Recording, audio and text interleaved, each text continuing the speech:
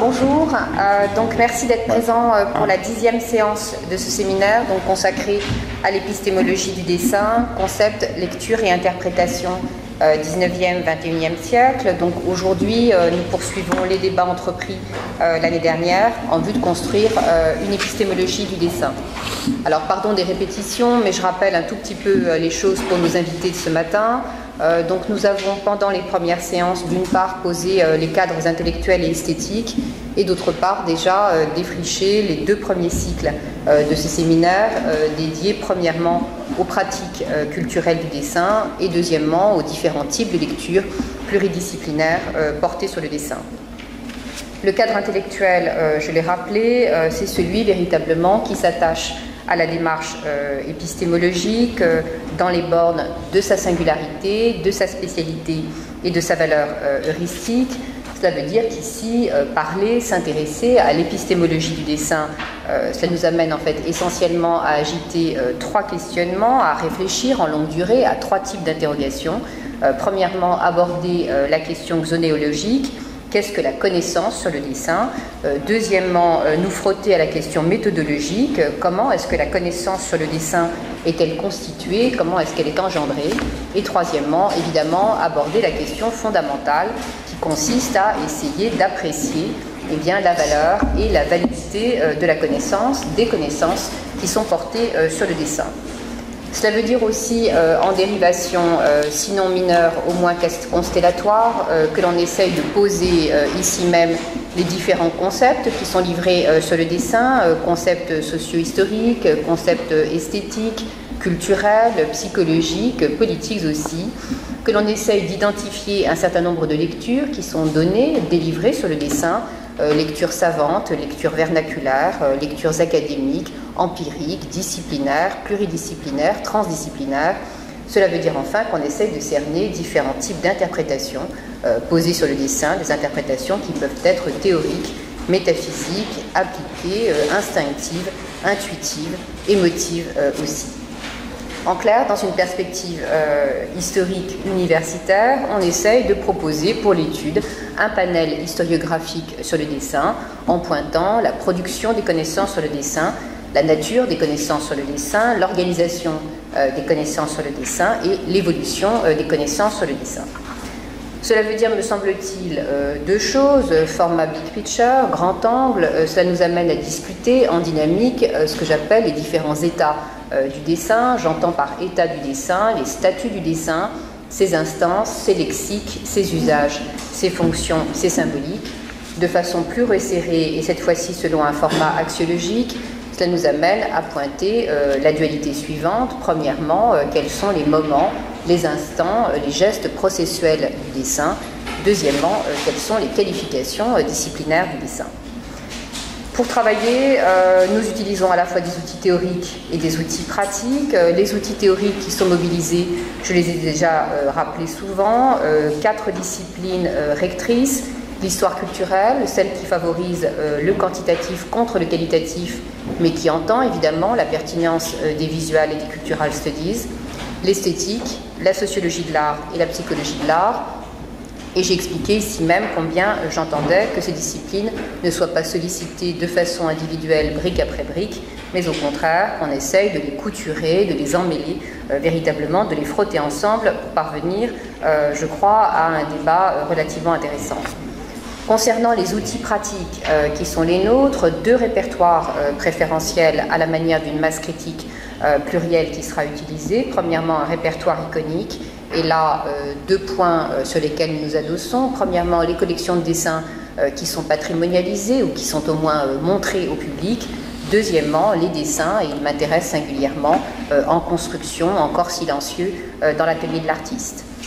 Deuxième type de répertoire, un répertoire historique et là euh, encore deux dérivations. Premièrement, une masse critique euh, qui est composée par les discours historiens qui sont livrés sur le dessin, et euh, d'autre part, et c'est ce dont véritablement nous allons nous saisir ce matin, l'autodiscours des créateurs eux-mêmes posés sur leur dessin, sur leur pratique créative.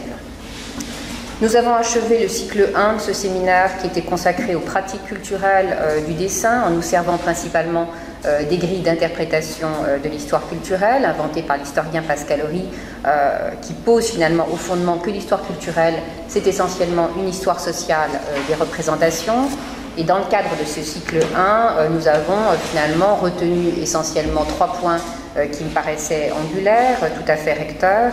Premièrement, toujours en ayant à l'esprit de réfléchir aux conditions de production du dessin, aux conditions de médiation et aux, conditions de réception du dessin, euh, à la fois du côté de la société culturelle et du côté de la sensibilité euh, culturelle. Trois points euh, qui nous ont retenus. Premièrement, réfléchir aux figures totémiques du dessin. Deuxièmement, réfléchir au lieu du dessin. Et troisièmement, réfléchir aux différents types de médias supportant ou éventuellement bloquant le dessin. Deuxième cycle de ce séminaire consacré aux lectures euh, pluridisciplinaires euh, livrées sur le dessin. Nous l'avons achevé euh, la dernière fois. ce qui m'intéresse, si vous l'avez bien compris, c'est d'installer le dessin non pas de façon ancillaire dans un dispositif esthétique, mais au contraire de considérer qu'il est tout à fait central, qu'il doit être examiné en soi, pour lui-même qu'il s'agit véritablement d'un objet autonome, c'est un objet autonome que je souhaite euh, faire discuter eh bien, par des historiens, des historiens d'art, des généticiens, des littéraires, des anthropologues, euh, des psychiatres, des philosophes, d'autres encore. Ce qui nous a amené euh, finalement cette année, dans les dernières séances, à écouter un littéraire réfléchir avec nous, pour nous, les dessins d'Aragon, à écouter un historien de l'architecture recomposant les processus créatifs de la monumentalité euh, de Charles Percier, à entendre une historienne euh, s'attardant finalement aux modalités euh, des processus d'élaboration des dessins de fabrique, enfin, la dernière fois, à écouter une psychologue déterminant dans et sous le dessin eh bien, les mécaniques psychiques d'enfants de migrants. Aujourd'hui, nous démarrons le cycle 3 et donc je suis très heureuse d'accueillir mon camarade Jean-Christophe Normand. C'est vrai que ça me rend très heureuse parce que depuis 2012, eh bien, je suis euh, véritablement avec euh, intensité, euh, je peux même dire avec passion, son travail. Alors, Jean-Christophe, je rappellerai que tu es né en 1964 et que tu vis à Besançon. Ton travail m'intéresse, je le répète, de façon très intense, très intensément, parce qu'il invente une confluence, il me semble, extrêmement dense, épaisse, singulière, entre la dynamique euh, du corps marchand, euh, l'enfouissement mentrique de la littérature et aussi euh, la linéarité d'un graphisme très, très entêtant. infusé à, Borges, ton travail adopte le format, je reconnais tout en dénonçant le lexique, le format de performance. Performance au sein desquelles sont intriquées, fusionnent eh bien, des marches, des écritures, des photographies, des dessins il y a du systématisme chez toi quand dans l'exploration d'ensembles urbains euh, à travers le monde, eh bien, tu joues avec les analogies, euh, tu joues avec la superposition, les superpositions, les évocations, euh, les recouvrements et l'expérience esthétique.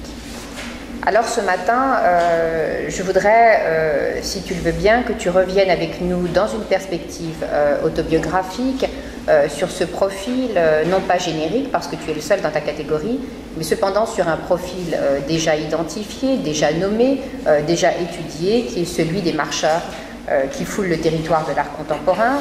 je voudrais que tu verbalises pour nous tous ici, rapporter à ton échelle, rapporter à ta hauteur, rapporter à ton univers, à ton écosystème, la signification que tu assignes à la marche comme expérience esthétique.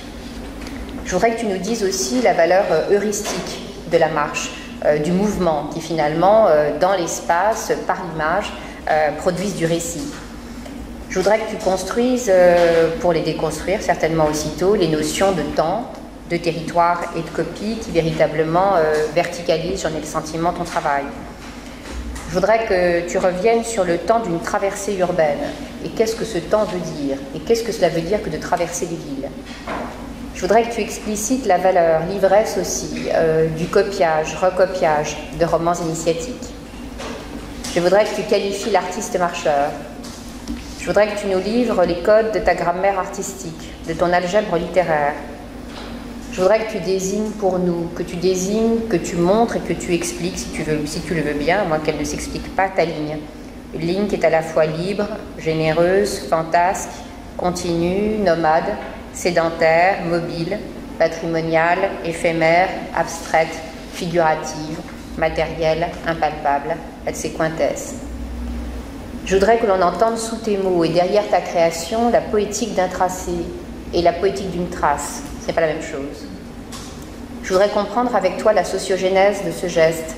Trace à la craie blanche, trace au marqueur, trace au stylo, ininterrompu, interrompu parfois, mais ininterrompu souvent sur les surfaces du monde, nuit et jour, jour et nuit. Je voudrais que l'on puisse euh, visionner avec toi la géographie euh, de cette trace. Elle nous emmène à New York, à Berlin, à Poznan, à Tokyo, à Vilnius, à Metz, à Paris, à Istanbul bien sûr, à Montevideo, à Buenos Aires, au delta du Mekong, aux forêts tropicales africaines, à Aigues-Mortes, dans le grand est de la France. Je voudrais que par la force de l'égo-histoire, euh, nous entendions chez toi l'écho euh, d'un ADN, un ADN très particulier puisqu'il est celui de l'alpiniste, de l'explorateur, du voyageur, du grand reporter aussi, qui toujours, souvent, convoque chez moi en tout cas euh, l'image de Nicolas Bouvier. Alors pour discuter euh, avec toi ce matin et à ton initiative, nous avons choisi euh, la formule du quatuor, puisque euh, Marjorie Miculci et Jean-Michel Espitalier sont avec nous ce matin et je les remercie infiniment d'avoir accepté cette discussion qui sera effectivement, je pense, très dynamique à cause de ce format à 4. Alors Marjorie, je vous présente sans doute vite et trop mal. Je rappelle que vous êtes critique d'art, que vous êtes doctorante à l'Université Paris 7 et que vous préparez une très belle thèse sur les inscriptions du texte poétique dickinsonien dans l'œuvre plastique de Ronnie Horn. Et donc que l'on vous connaît euh, bien évidemment pour toute une série de textes euh, que vous avez livrés sur l'art contemporain. Jean-Michel, euh, je rappelle que vous êtes né en 1957 et vous êtes, pour ceux qui ne le savent pas, véritablement l'homme pluriel. Vous êtes écrivain, vous êtes poète, vous êtes performeur, vous êtes lecteur, vous êtes conférencier, vous êtes batteur, vous êtes revuiste, vous êtes éditeur, vous êtes jury, vous êtes encore beaucoup de choses que j'oublie. Vous vivez mobilisé, me semble-t-il, dans une courbure très intéressante parce que transdisciplinaire, toujours le texte, euh, le son et l'image. Trois identifications qui ont été données euh, de vous par des extérieurs, je les reprends à mon compte et les livre pour le collectif. On dit de vous trois choses. Jean-Michel Espitalier est l'un des poètes contemporains qui a le plus modifié l'image attendue de la poésie. Il est représentatif d'une génération qui, proche en cela de l'art contemporain, opte pour des pratiques poétiques variées, construites, accumulatives et drôles. Deuxième citation, Jean-Michel Espitalier est l'un des poètes les plus mobiles et véloces de sa génération. Troisième citation, c'est un Wittgenstein à la façon d'un Alphonse Allais. On vous connaît effectivement pour vos ouvrages, pour vos créations, euh, pour vos expositions. Moi personnellement, euh, je vous connais j'aime beaucoup votre travail euh, parce que vous êtes un poète en mouvement et que tout ce que vous dites de la poésie m'intéresse énormément. vous dites de la poésie que c'est une nébuleuse d'écriture et de gestes que chacun doit pouvoir s'approprier. Vous réfléchissez à véritablement les usages de la poésie contemporaine et vous n'hésitez pas à à chahuter euh, d'ailleurs parfois l'usage presque immodéré qui est donné du terme. Vous déconstruisez ou reconstruisez là encore aussi la supposée difficulté euh, de la poésie. Vous réfléchissez euh, à la notion d'authenticité qui moi aussi me retient beaucoup dans mes travaux esthétiques. Donc ce matin, à quatre, tous les quatre ensemble, chacun les uns après les autres, je ne sais pas comment nous allons faire, avec en backstreet euh, les visuels de la création de, Jean-Christophe défilant derrière nous, euh, j'imaginais que peut-être nous pourrions euh, avancer la discussion à la manière d'un bréviaire, c'est-à-dire autour d'un certain nombre de termes sur lesquels les uns et les autres nous pourrions réagir. C'est une proposition, on peut totalement l'enlever et ne pas la retenir. en note séminale, et parce que je, suis historienne, j'aimerais, Jean-Christophe, que tu dises tes fondations, tes références, des filiations intellectuelles pour que l'on comprenne véritablement euh, les étapes de ta construction identitaire. Où sont posés euh, Conrad et Jeanne? Et pourquoi? Comment se sont organisées chez toi les courbures entre sommet des montagnes et sommet himalayen de la littérature que tu graphes Et donc, ensuite, peut-être cette sorte de bréviaire, de glossaire ou d'index, je n'en sais rien, tout un tas de mots que j'ai relevés et qui te, qui te qualifient et qui pourraient nous permettre en quelque sorte d'avoir le, le, rôle d'antichambre pour comprendre euh, ton travail. C'est une liste infinie, c'est une liste préférentielle aussi, personnelle.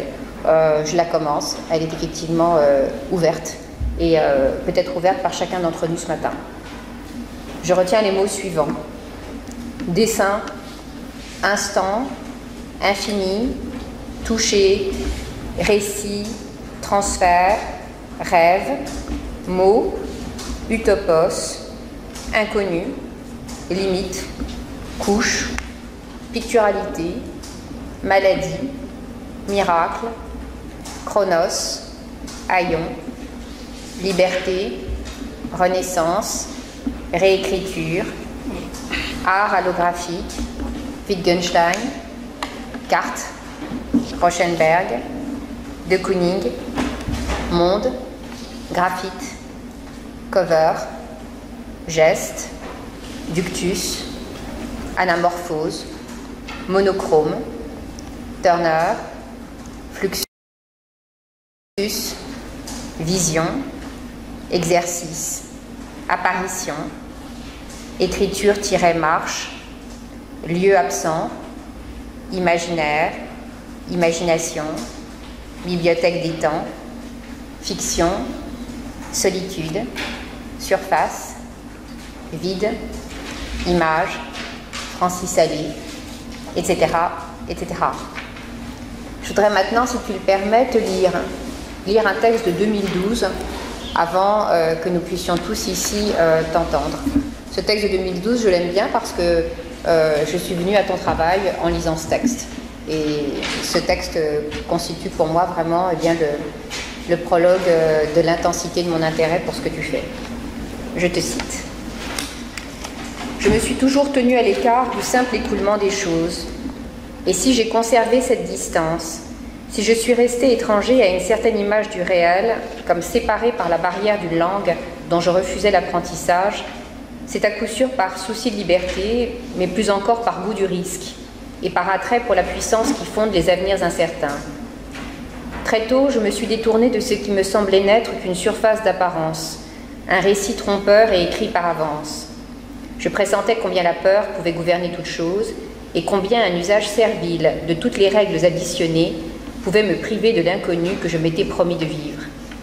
Je ne voulais pas me tenir à trop grande distance du hasard, dont je tenais à mesurer la précision des impacts. Dès l'enfance, l'expression de passion a conduit ma vie dans des marges. Hors champ, parfois solitaire, j'ai vite entrepris des explorations de toutes sortes. Sur les pentes des montagnes, à travers de nombreux livres dont parfois le sens m'échappait, mais dont les titres me fascinaient, ou encore dans l'expression d'un imaginaire qui compensait un ennui tenace ressenti durant mes études.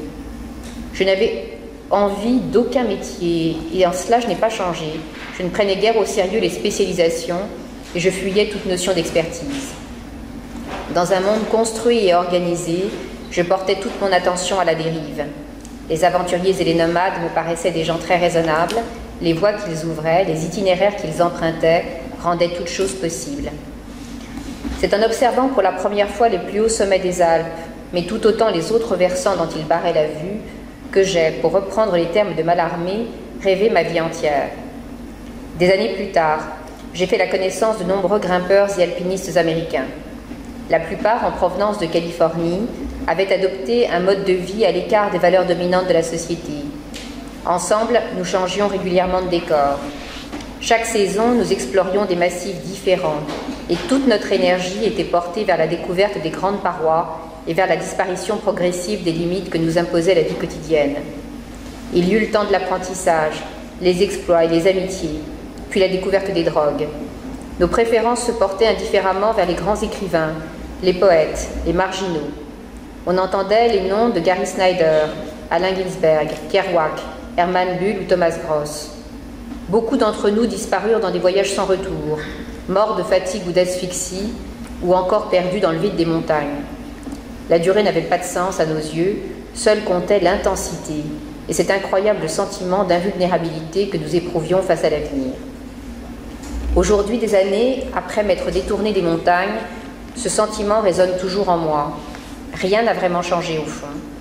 Mes itinéraires, je les réalise dans des grandes villes à travers le monde et se transfèrent de la verticalité à l'horizontalité, du topo à la carte géographique, s'est opéré assez naturellement avec un certain détachement.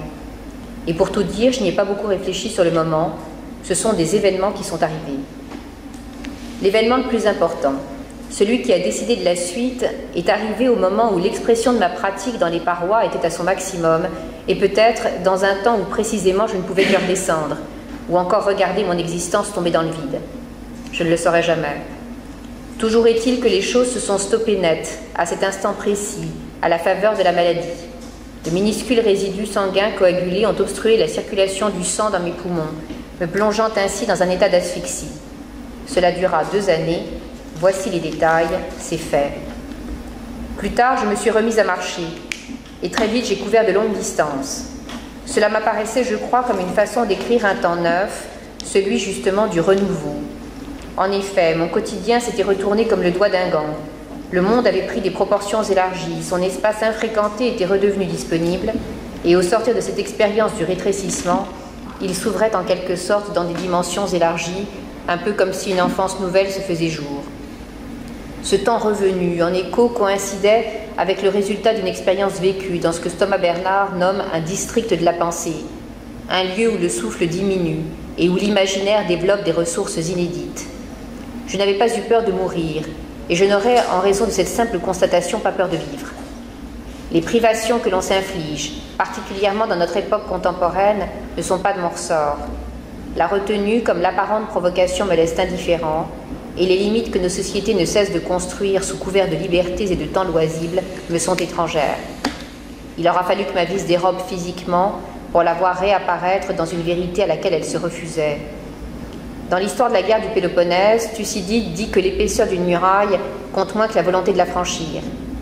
Aujourd'hui, où la plupart des murs sont invisibles, cette volonté semble ne plus avoir de valeur d'usage et l'enfermement peut tout aussi bien agir à l'air libre. N'ayant jamais été animé par un désir de plaire, pas plus que de déplaire, j'ai toujours été relativement libre. J'ai suivi des chemins personnels, souvent à l'écart du monde de l'art, mais toujours au contact de la vie. Il m'est aussi arrivé à plusieurs reprises d'être remarqué par des personnes bien intentionnées qui me proposaient de soutenir mes travaux en cours. Ce fut, et cela reste, des moments déterminants et non programmés où la part intime se mêle à des exigences extérieures. Tout devient alors un jeu d'équilibre. Au fond, la part d'altérité, je ne cesse de l'expérimenter dans ma vie et dans, mes activités qui sont, il faut le reconnaître, étroitement liées.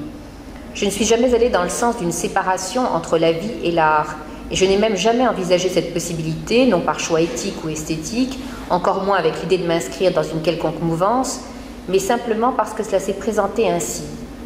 Les événements que j'ai été amenée à vivre ne m'ont guère laissé le choix.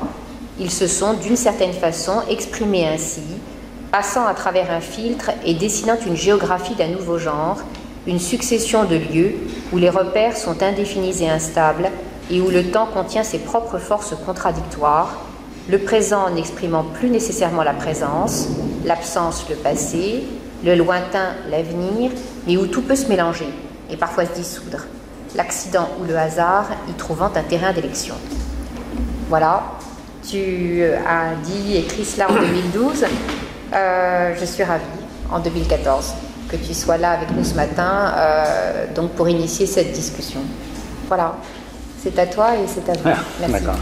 Moi, je, ce que tu disais tout à l'heure en parlant de A4, ça faisait presque un, une référence directe, un, un, jeu de mots sur mon travail. C'est avec ce format finalement que j'ai commencé. Donc, euh, dans, dans, des, effectivement, dans des circonstances que tu évoquais tout à l'heure, qui sont évoquées un peu dans ce texte, un peu, un peu compliqué, on va dire. Enfin, l'expérience de l'expérience de la maladie. Donc, au moment où moi je suis, euh, je suis alpiniste, j'ai une pratique quotidienne de l'escalade de la montagne. Euh, je suis confronté à, cet épisode qui m'empêche euh, à la fois de respirer, de me, déplacer en fait. Et pour résumer, pour faire court, on va dire, dans, cette période, après la lecture, notamment la lecture des récits autobiographiques de Thomas Bernhardt, je prends la décision de, de devenir artiste, mais vraiment comme une prise de décision, c'est-à-dire comme une sorte de chose irrévocable, alors que moi j'ai absolument pas, euh, j'ai absolument pas une formation euh, artistique. Euh, j'ai toujours eu un intérêt pour l'art, mais bon, on va dire, lu de façon un peu plus ou moins lointaine, puisqu'étant très très impliqué dans qu'on pourrait appeler presque l'exercice d'une passion.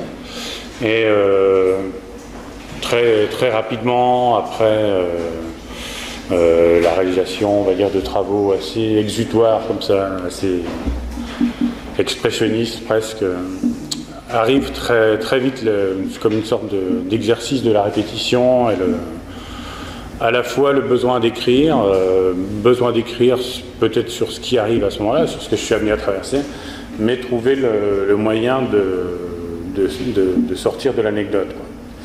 Alors écrire une histoire sans anecdote, euh, bah, finalement je trouve un moyen assez simple dans un, dans une chambre où je suis dénué de tout, presque de tout matériel, donc avec euh, quelques feuilles, euh, un stylo, une montre, et je commence à recopier les, signes que m'indique cette montre numérique, c'est-à-dire toujours dans le même ordre, le jour, le mois, l'année, l'heure, la minute, la seconde. Et donc, écrivant ce, texte sur des, feuilles A4, sur des formats parfois un peu plus grands, et ça, presque exclusivement cette pratique-là pendant, pendant deux ans, on va dire les deux années de la, les deux années de la maladie. Euh, je pourrais évoquer aussi une autre pratique un peu obsessionnelle comme ça, parce que j'avais tellement de. Enfin, obsessionnelle, ou en tout cas des, choses que j'avais remarquées qu'on ne remarque pas forcément dans le quotidien. C'était le, fait, par exemple, que mes déplacements soient tellement compliqué, j'avais pris l'habitude de compter tous les, tous les pas. Donc euh, les pas qui me séparaient de telle pièce dans mon appartement, les pas qui me séparaient de, tel lieu, enfin, d'un lieu, lieu à un autre en fait. Et puis par exemple, je prenais ce, nombre de pas sur une feuille, euh, par exemple, je sais pas, le, nombre 258, et je le, je le reproduisais 258 fois, je continuais avec le, chiffre 259 ou plus bas, comme une sorte de, pas une signature, mais comme une, comme une continuité, quoi, une chose pas close. Et puis, euh, euh, cet épisode se terminant et la marche, le déplacement redevenant une chose possible, euh, bah, tout a changé en fait. Donc on pourrait dire que cette écriture-là, elle sort, elle, sort de, la feuille, elle sort du tableau. Et le hasard fait que je reçois la, photographie d'une amie c'est un, portrait d'elle marchant en kimono dans, les rues de Tokyo. Elle, semble marcher comme ça, un peu comme, comme sur un film, ou suivre une ligne. Et cette ligne, je l'ai vraiment euh, visualisée. Et j'ai eu l'idée immédiatement, comme ça, de. Bon, la ligne est déjà évidemment très présente dans, le livre, euh, sur la page. Mais là, d'avoir cette, ligne continue, euh, qui, serpente comme ça à, travers, des rues. Donc, donc j'ai pris des craies et j'ai toujours avec le même, euh, le même protocole de copie, c'est-à-dire avec cette montre euh, numérique. Euh, je dessinais alors au départ sur des, sur des portions de rue, puis des rues entières, et puis j'envoyais une relative efficacité de cette ligne, et puis finalement avec, ce, avec cette forme très, mince, très légère, je voyais qu'il se passait pas mal de choses dans le, territoire urbain, c'est-à-dire toute une sorte de... Déjà, déjà plusieurs temporalités, on va dire le, moment où moi j'écrivais, où il y avait une sorte d'attention comme ça qui était portée sur moi, qui n'est pas forcément le, qui est pas forcément le moment qui m'intéresse. Je parlais tout à l'heure de performance, c'est vrai que c'est un terme qu'on emploie souvent, euh, avec lequel je ne suis pas forcément toujours très à l'aise. ça, suppose un peu le, quand même euh, une sorte de, convocation d'un public, ce qui, est, ce qui est jamais le cas, enfin ou très rarement le cas dans, ce que je fais. Donc on pourrait dire aussi le thème même action, ça correspond pas vraiment, peu importe. Mais euh, quand je parlais de plusieurs temporalités, après moi je, reviens par exemple le, sur cette ligne que j'ai tracée, que j'ai écrite, et puis pour en, pour en garder des traces, souvent assez, assez légères d'ailleurs, des traces photographiques. Et là, euh, personne ne sait que c'est moi. Et donc, c'est moi qui ai pu l'écrire. Il y a tout, cet aspect, même s'il est relativement, euh, j'espère, en arrière-plan, c'est un côté un peu spectaculaire, comme ça, est complètement effacé. Et je, et je peux voir toutes les. comme une sorte de, chorégraphie, comme ça, dans, la ville, en fait. C'est-à-dire un, ralentissement des gens, des gens qui se mettent à parler entre eux de ce qu'ils sont amenés à lire, des gens qui lisent. Euh, qui lisent spontanément à haute voix ce qui est, ce qui est écrit, et puis ou qui, qui, se, qui change d'axe, qui se place du côté lisible, qui, remonte la ligne, parce que la ligne parfois est très très longue.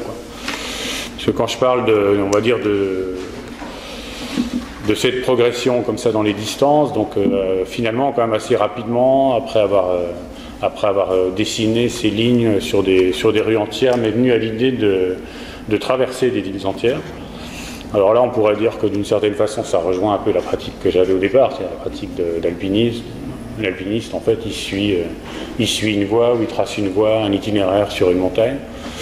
Bon, là, j'étais dans quelque chose d'horizontal. La première ville. Pardonnez-moi peut-être pour qu'on voit mieux la, première ville que j'ai choisi de traverser, c'était Berlin, donc avec, euh, avec un exercice quotidien donc euh, d'écriture euh, où j'écrivais très longtemps chaque journée. Et pendant un mois, j'ai traversé la, ville, entière. Puis il y a eu comme ça toute une succession de villes, New York. mais New York, par exemple, j'avais tracé un trait vraiment presque rectiligne comme ça sur la carte. Enfin, en tout cas, mis à part mis à part Brooklyn, mais après on va dire, du sud de Manhattan au, nord du Bronx. J'ai suivi à peu près, à peu près cette ligne. Et euh, pareil, toujours avec cette même. euh, à la fois ce côté très très simple, comme ça, hein, du tracé sur une carte, et puis évidemment la confrontation à tout un tas de situations. Euh, chose qui m'intéresse beaucoup, c'est-à-dire cette, confrontation, on va dire, entre la, entre la répétition, son côté qui pourrait apparaître comme ça austère, et en fait l'inattendu euh, permanent, c'est-à-dire qui est, qui, est, propre à, qui propre à l'usage de la ville en fait et aux rencontres que, ça peut susciter. Quoi. Est-ce que juste après, je, moi je laisse la parole à, Marjorie à Jean-Michel. Là, cette question là du, du happening qui sort de la répétition, je la trouve intéressante. Et puis tu as employé le terme à l'instant aussi de chorégraphie. Et puis ce qui m'intéressait aussi, mais je ne voilà, veux pas du tout euh, monopoliser, c'était euh, l'amont, l'amont en fait de ces aventures graphiques. Comment est-ce que tu, prépares ce travail? Donc à la fois euh, la préparation terrain et cette préparation intellectuelle avec tes lectures. Donc peut-être voilà, l'amont du travail, la notion de danse et de chorégraphie. Je parlais tout à l'heure de la notion de collectif et de singulier, où on a le sentiment euh, d'un espace de solitude et en même temps tu viens nous dire aussi euh, que par définition, puisque les uns et les autres regardent ton travail, il a cette espèce de force d'intervention euh, d'un public voulu, non voulu, avec des forces d'intensité qui sont variables. voilà, tout ça me paraît très, très intéressant. J'ai assez, enfin, pas vraiment dans, des choses préparées, par exemple. C'est plus souvent. Même les voyages, je veux dire, se tracer, comment est-ce que tu le fais? Tu le fais sur des cartes en amont? Oui, alors, euh, oui, alors ça, c'est, ça, c'est d'autres projets, par exemple. Mais bon, je ne vais pas être trop chronologique, mais si j'en reste, par exemple, sur la, par exemple, sur la question de la ligne. Euh, euh, je, souvent, je, procède comme ça. Par exemple, je, trace effectivement un itinéraire et, euh, dans une ville que je connais, parfois que je connais. Berlin, en l'occurrence, c'est une ville que je connais bien. mais selon, quel, selon quel critère tu traces euh, Pourquoi Et je veux dire, voilà, c'est simplement une ligne esthétique ou c'est un, un tracé euh, qui correspond vraiment à quelque chose parce que tu as regardé des guides de voyage parce que tu connais c'est un tracé presque Non, je crois que c'est vraiment, je crois que c'est vraiment en relation avec encore une fois avec la pratique que j'avais avant et presque l'idée de la ligne directe d'ailleurs. Alors euh, historiquement dans la, dans les euh, dans l'exploration des grandes faces alpines, par exemple, il y avait l'idée de, directissime ou de, voie directe. Donc ça, ça, a dû me rester, pas forcément, de façon assez intuitive, je pense. Et euh, et donc après, il y a, la, question de suivre ça sur le, sur, dans, le territoire urbain. Et il n'y a pas non plus de... Alors que c'est quand même une... Alors que c'est un exercice qui est très très physique. Euh, c'est aussi une chose que je laisse, là j'en parle ici comme ça, mais que je laisse très en arrière-plan. Je suis, j'apparais souvent hors champ. Il y a extrêmement peu d'images où on me voit en fait en train d'écrire. Et la plupart du temps, c'est moi qui garde, qui photographie moi-même la ligne, donc, donc on garde ces traces euh, comme ça légères. Mais j'ai pas non plus, même euh, de ce point de vue-là, une, euh, une, préparation spécifique. Il y a aussi vraiment, encore une fois, oui, l'idée de décision. Alors ça s'opère, ça peut être un, projet que je réalise, par exemple, c'est une sorte de décision personnelle, ou alors ça peut être dans le cadre euh, de l'invitation faite par une institution, ou par exemple Poznan, c'était dans le cadre d'une biennale, et c'était un, curateur japonais qui fit mon travail, qui m'avait voilà, proposé de faire une, une de, j'avais une sorte de carte blanche pour faire quelque chose dans l'espace public dans la ville de Poznan. L'idée de traverser la ville, d'en réactiver l'écriture à un certain moment, c'est ce qui m'est venu à ce moment-là. Et donc le fait de rendre presque cette, cette chose-là même soit d'une certaine manière, soit, soit, soit d'en avoir parlé, soit qu'elle soit rendue publique dans une programmation par exemple, me crée, euh, enfin pas vraiment une obligation au sens euh, trop pénible du terme, mais en tout cas me, me, L'arrière pourriez bien m'aider à capturer les deux fois, c'est pas le Ouais. Voilà, c'est un peu, c'est vraiment là, je pense, où il y a, il y a une chose assez, assez conjuguée avec ce que, la pratique que j'avais avant, en fait. Il me semblait peut-être que, euh, mais c'est vous qui voyez, peut-être que Jean-Michel pouvait réagir sur la notion de bibliothèque des temps et euh, Marjorie sur la notion de- d'écriture marche, mais ce sont des suggestions. Et euh, je vous laisse vraiment faire comme vous voulez, évidemment. Alors, je, ne sais pas si, je vais réagir sur ce terme-là, bien que je pense que je vais l'aborder. Moi, ce qui me. Je veux dire que j'ai rencontré euh, Jean-Christophe, en tout cas son travail, presque par hasard. Et euh, là, je vous fais une sorte de petite, de petite historique, en fait, de, notre rencontre et de cette connexion artistique et intellectuelle. Et très vite, Jean-Christophe, donc c'était par mail, on s'est pas du tout vu comme ça, en vrai. Et euh, il, m'a proposé donc de, de mener une action commune, euh, de marcher, donc chacun dans sa ville. Moi j'étais à Paris, je crois, ou je crois que j'étais à Paris, et tu étais à, Bes- à Besançon. Ou à Avec moi, je les ai vus. ou voilà. Et, et j'ai trouvé l'idée tellement simple et tellement belle. J'ai dit ok, mais, mais euh, j'avoue que j'étais un peu grippé par peut-être par mon métier d'écrivain. Et j'ai dit mais alors après je fais quoi? Qu'est-ce que je raconte? Qu'est-ce que je restitue? Est-ce que je prends des notes? Est-ce que je décris? Est-ce qu'on est est en reparle, etc. Il m'a dit non non pas du tout. C'est une heure de, marche euh, en commun mais c'est séparé où chacun bah, donc va investir un territoire que l'autre ne connaît pas. Et effectivement, ça m'a, beaucoup marqué, ça m'a, beaucoup plu et ça m'a beaucoup fait marcher pour le coup, mais aussi dans ma tête. Savoir qu'on pouvait aussi réaliser des actions, se déplacer sans trace, hein, sans trace intellectuelle. hein. Moi, je ne suis pas habitué à ça. Quand, j'écris des livres ou quand j'ai une commande de texte, on me dit voilà, vous allez faire quelque chose. Exemple, il m'était arrivé à Genève de, passer, une, semaine, c'était un projet qui était piloté par l'école des beaux-arts.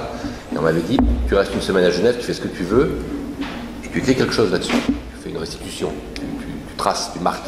Alors que là, au contraire, il y avait quelque chose d'immédiatement orphelin. Moi, c'est ça qui m'a, beaucoup intéressé, parce que la trace, c'est, quand même quelque chose qui est immédiatement orphelin. En fait, il reste que des, que, que- que des sensations qui ne sont pas des, des impressions, qui ne sont pas, qui ne sont plus traçables, enfin, qui ne sont plus visibles.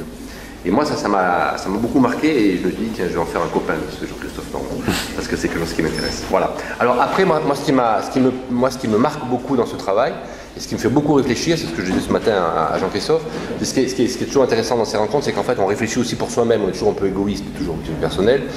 Et moi, je me suis toujours, évidemment, en tant qu'écrivain et que poète, intéressé à la question de l'écriture, mais aussi mais à, à la question à la question de sa matérialité et de son espace. Moi, j'ai toujours été, et je me, suis, toujours beaucoup interrogé sur cette, euh, on pourrait dire sur un statut formel du texte. C'est-à-dire que quand, Marcel Proust, par exemple, euh, écrit La Recherche, il y a euh, de facto, matériellement, l'obligation d'un retour à la ligne. Parce que le manuscrit, on arrive au bord de la page, donc il faut revenir à la ligne. Quand on écrit sur son ordinateur, c'est pareil. Et ce retour à la ligne, déjà, il trace une sorte, pardon, il, il marque une sorte de suspens. Il y a, une petite rupture. hein. On écrit, il faut relever la plume et revenir à, la suite. Donc il y a des microsecondes, il y a des micro, des micro-césures, des micro-ruptures en fait, qui, de mon point de vue, transforment l'écriture chaque fois, hein, sur des choses assez imperceptibles. Mais bon. Mais alors, c'est pas tout. C'est que après euh, cette espèce de, donc ce retour à la ligne, qui fait que finalement tout texte est un poème en vers. hein, chaque fois. hein, une- un livre, c'est- toujours des vers si on, le, regarde d'un point de vue très objectif. Euh, donc ce retour à la ligne, en fait, ça ne sera pas le même sur le, dans sa version imprimée. C'est-à-dire que Proust est revenu à la ligne à tel endroit, mais quand il va imprimer son texte chez Gallimard, le retour à la ligne ne sera pas le même. Donc il y a déjà quelque chose qui ne, correspond pas avec l'état originel, donc de la forme du geste. Donc il y a déjà, je dirais presque une, trahison dans la première édition. Et puis évidemment, quand on est Marcel Proust ou euh, James Joyce, on est beaucoup republié. Il y, a des éditions très différentes. Et chaque fois, le retour à la ligne, donc l'image texte en fait change, se transforme, euh, est variable. si vous prenez la, recherche du temps perdu, ça a été publié chez Gallimard dans la Blanche, puis en Pléiade, puis en Poche, puis en, puis en folio, puis en folio junior, puis en, etc. Donc chaque fois, en fait, on a une image différente. Donc on n'a pas tout à fait le même texte. Et, je me dis que fantasmatiquement, en fait, un, roman comme la, comme la Recherche, enfin une série comme La Recherche, en fait, euh, il faudrait avoir le culot. En fait, j'oublie Proust, on, va prendre Joyce, puisqu'en fait, euh, Jean-Christophe s'est intéressé à Joyce, Joyce. Il faudrait avoir le culot en fait, de l'écrire sur une seule ligne, parce que c'est peut-être ça finalement l'état originel et euh, l'état originel et virtuel d'un texte. C'est-à-dire qu'en fait, le retour, à la, le retour à la ligne est toujours un pis-aller, toujours quelque chose qui est contraint. Le format A4 dont on parlait tout à l'heure, à tort ou à raison.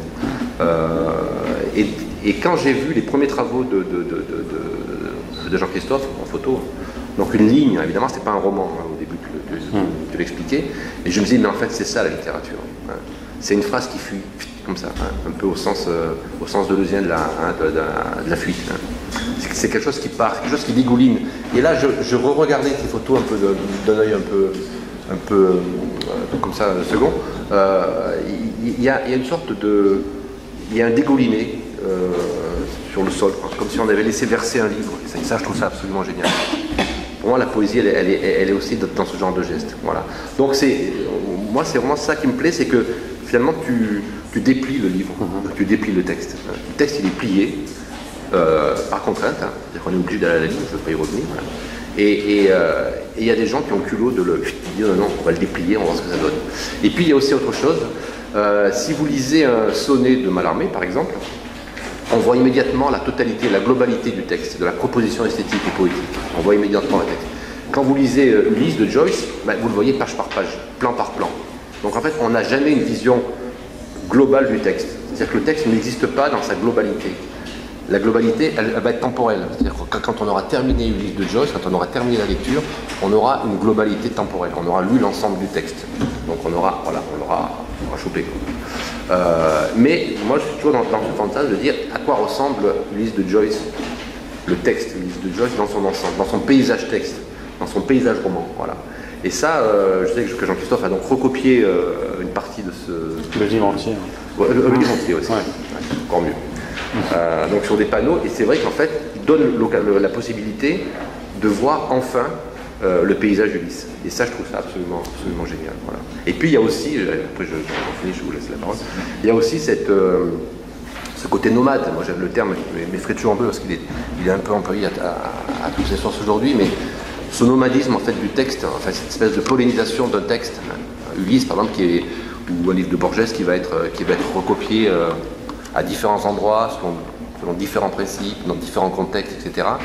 Donc il y a aussi une espèce de circulation. Hein, il y a une, très, belle, très, belle, très belle phrase de, Rimbaud qui dit la, la, circulation des sèves inouïes. Il y a de la sève, le texte c'est de la sève. Il y a une circulation inouïe, c'est-à-dire qu'elle est partout. Il y en a partout, mais dans des lieux sont jamais connectés. Euh, et donc, c'est ça, le texte en fait continue tout seul, il y a une espèce d'autonomie. Et puis enfin, le, terme nomade me, fait aussi me souvenir que finalement, euh, on dit que les nomades en fait sont des gens qui veulent rester sur leur terre. Ils bougent parce qu'en fait ils veulent pas, ils veulent pas, ils veulent rester en fait, ils veulent occuper leur territoire. Et que paradoxalement, le nomade, c'est peut-être celui qui, veut, qui, est le plus sédentaire. Donc je me demande aussi si finalement il n'y a pas cette espèce de, dans, cette, dans ce nomadisme, dans cette pollinisation, dans cette, euh, dans cette euh, pulvérulence en fait du texte, s'il n'y a pas peut-être chez toi un désir euh, peut-être inconscient ou, mmh. malin ou malicieux, de, au contraire de, s'ancrer dans, un, dans, un, territoire. Mmh. D'occuper le terrain. terrain. On pourra revenir à tout ça. Oui, Du coup, je vais, rebondir sur ce que vous dites, notamment sur, euh, sur les surfaces euh, qu'utilise et que prend, qu'habite euh, Jean-Christophe dans, cette, dans ce déploiement du, du, livre et dans ce déploiement de la, de la phrase, de la ligne, hein, aux phrases qui devient ligne. Et il le fait, euh, il peut le faire sur un écran d'ordinateur. Les surfaces sont importantes. Euh, le, choix qu'il fait, euh, que ce soit l'asphalte, l'asphalte d'une rue à Montevideo, que ce soit une rue aussi d'Istanbul, que ce soit les feuilles A4. Et peut-être on peut revenir sur, cette, sur ce format A4.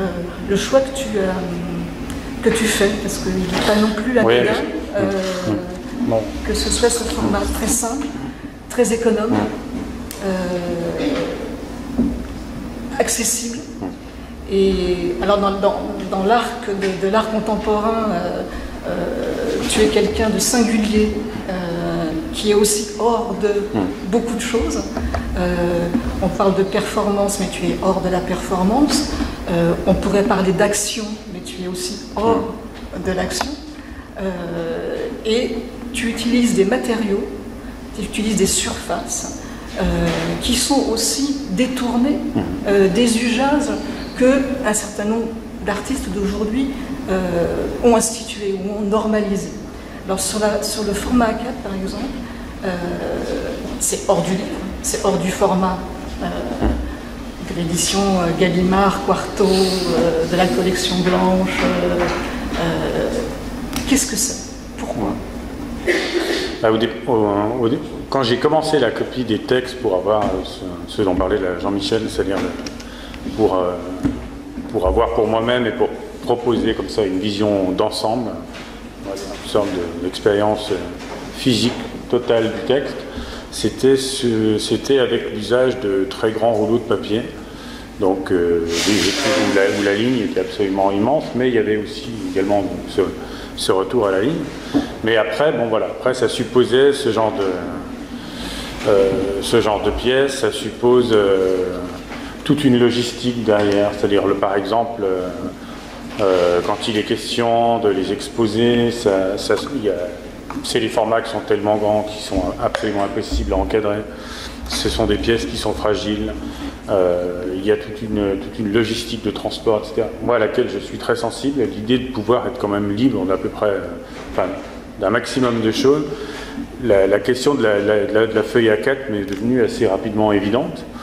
Ça me permettait aussi, puisque étant amené à voyager assez souvent, de, continuer des, projets au long cours et de, ben, voilà, avec ce, avec ce support de la feuille, donc de pouvoir, il me suffisait d'un bureau dans un espace, pas, une résidence dans un, musée ou n'importe quelle autre institution, ou bien une table dans un hôtel pour continuer, ce projet en fait.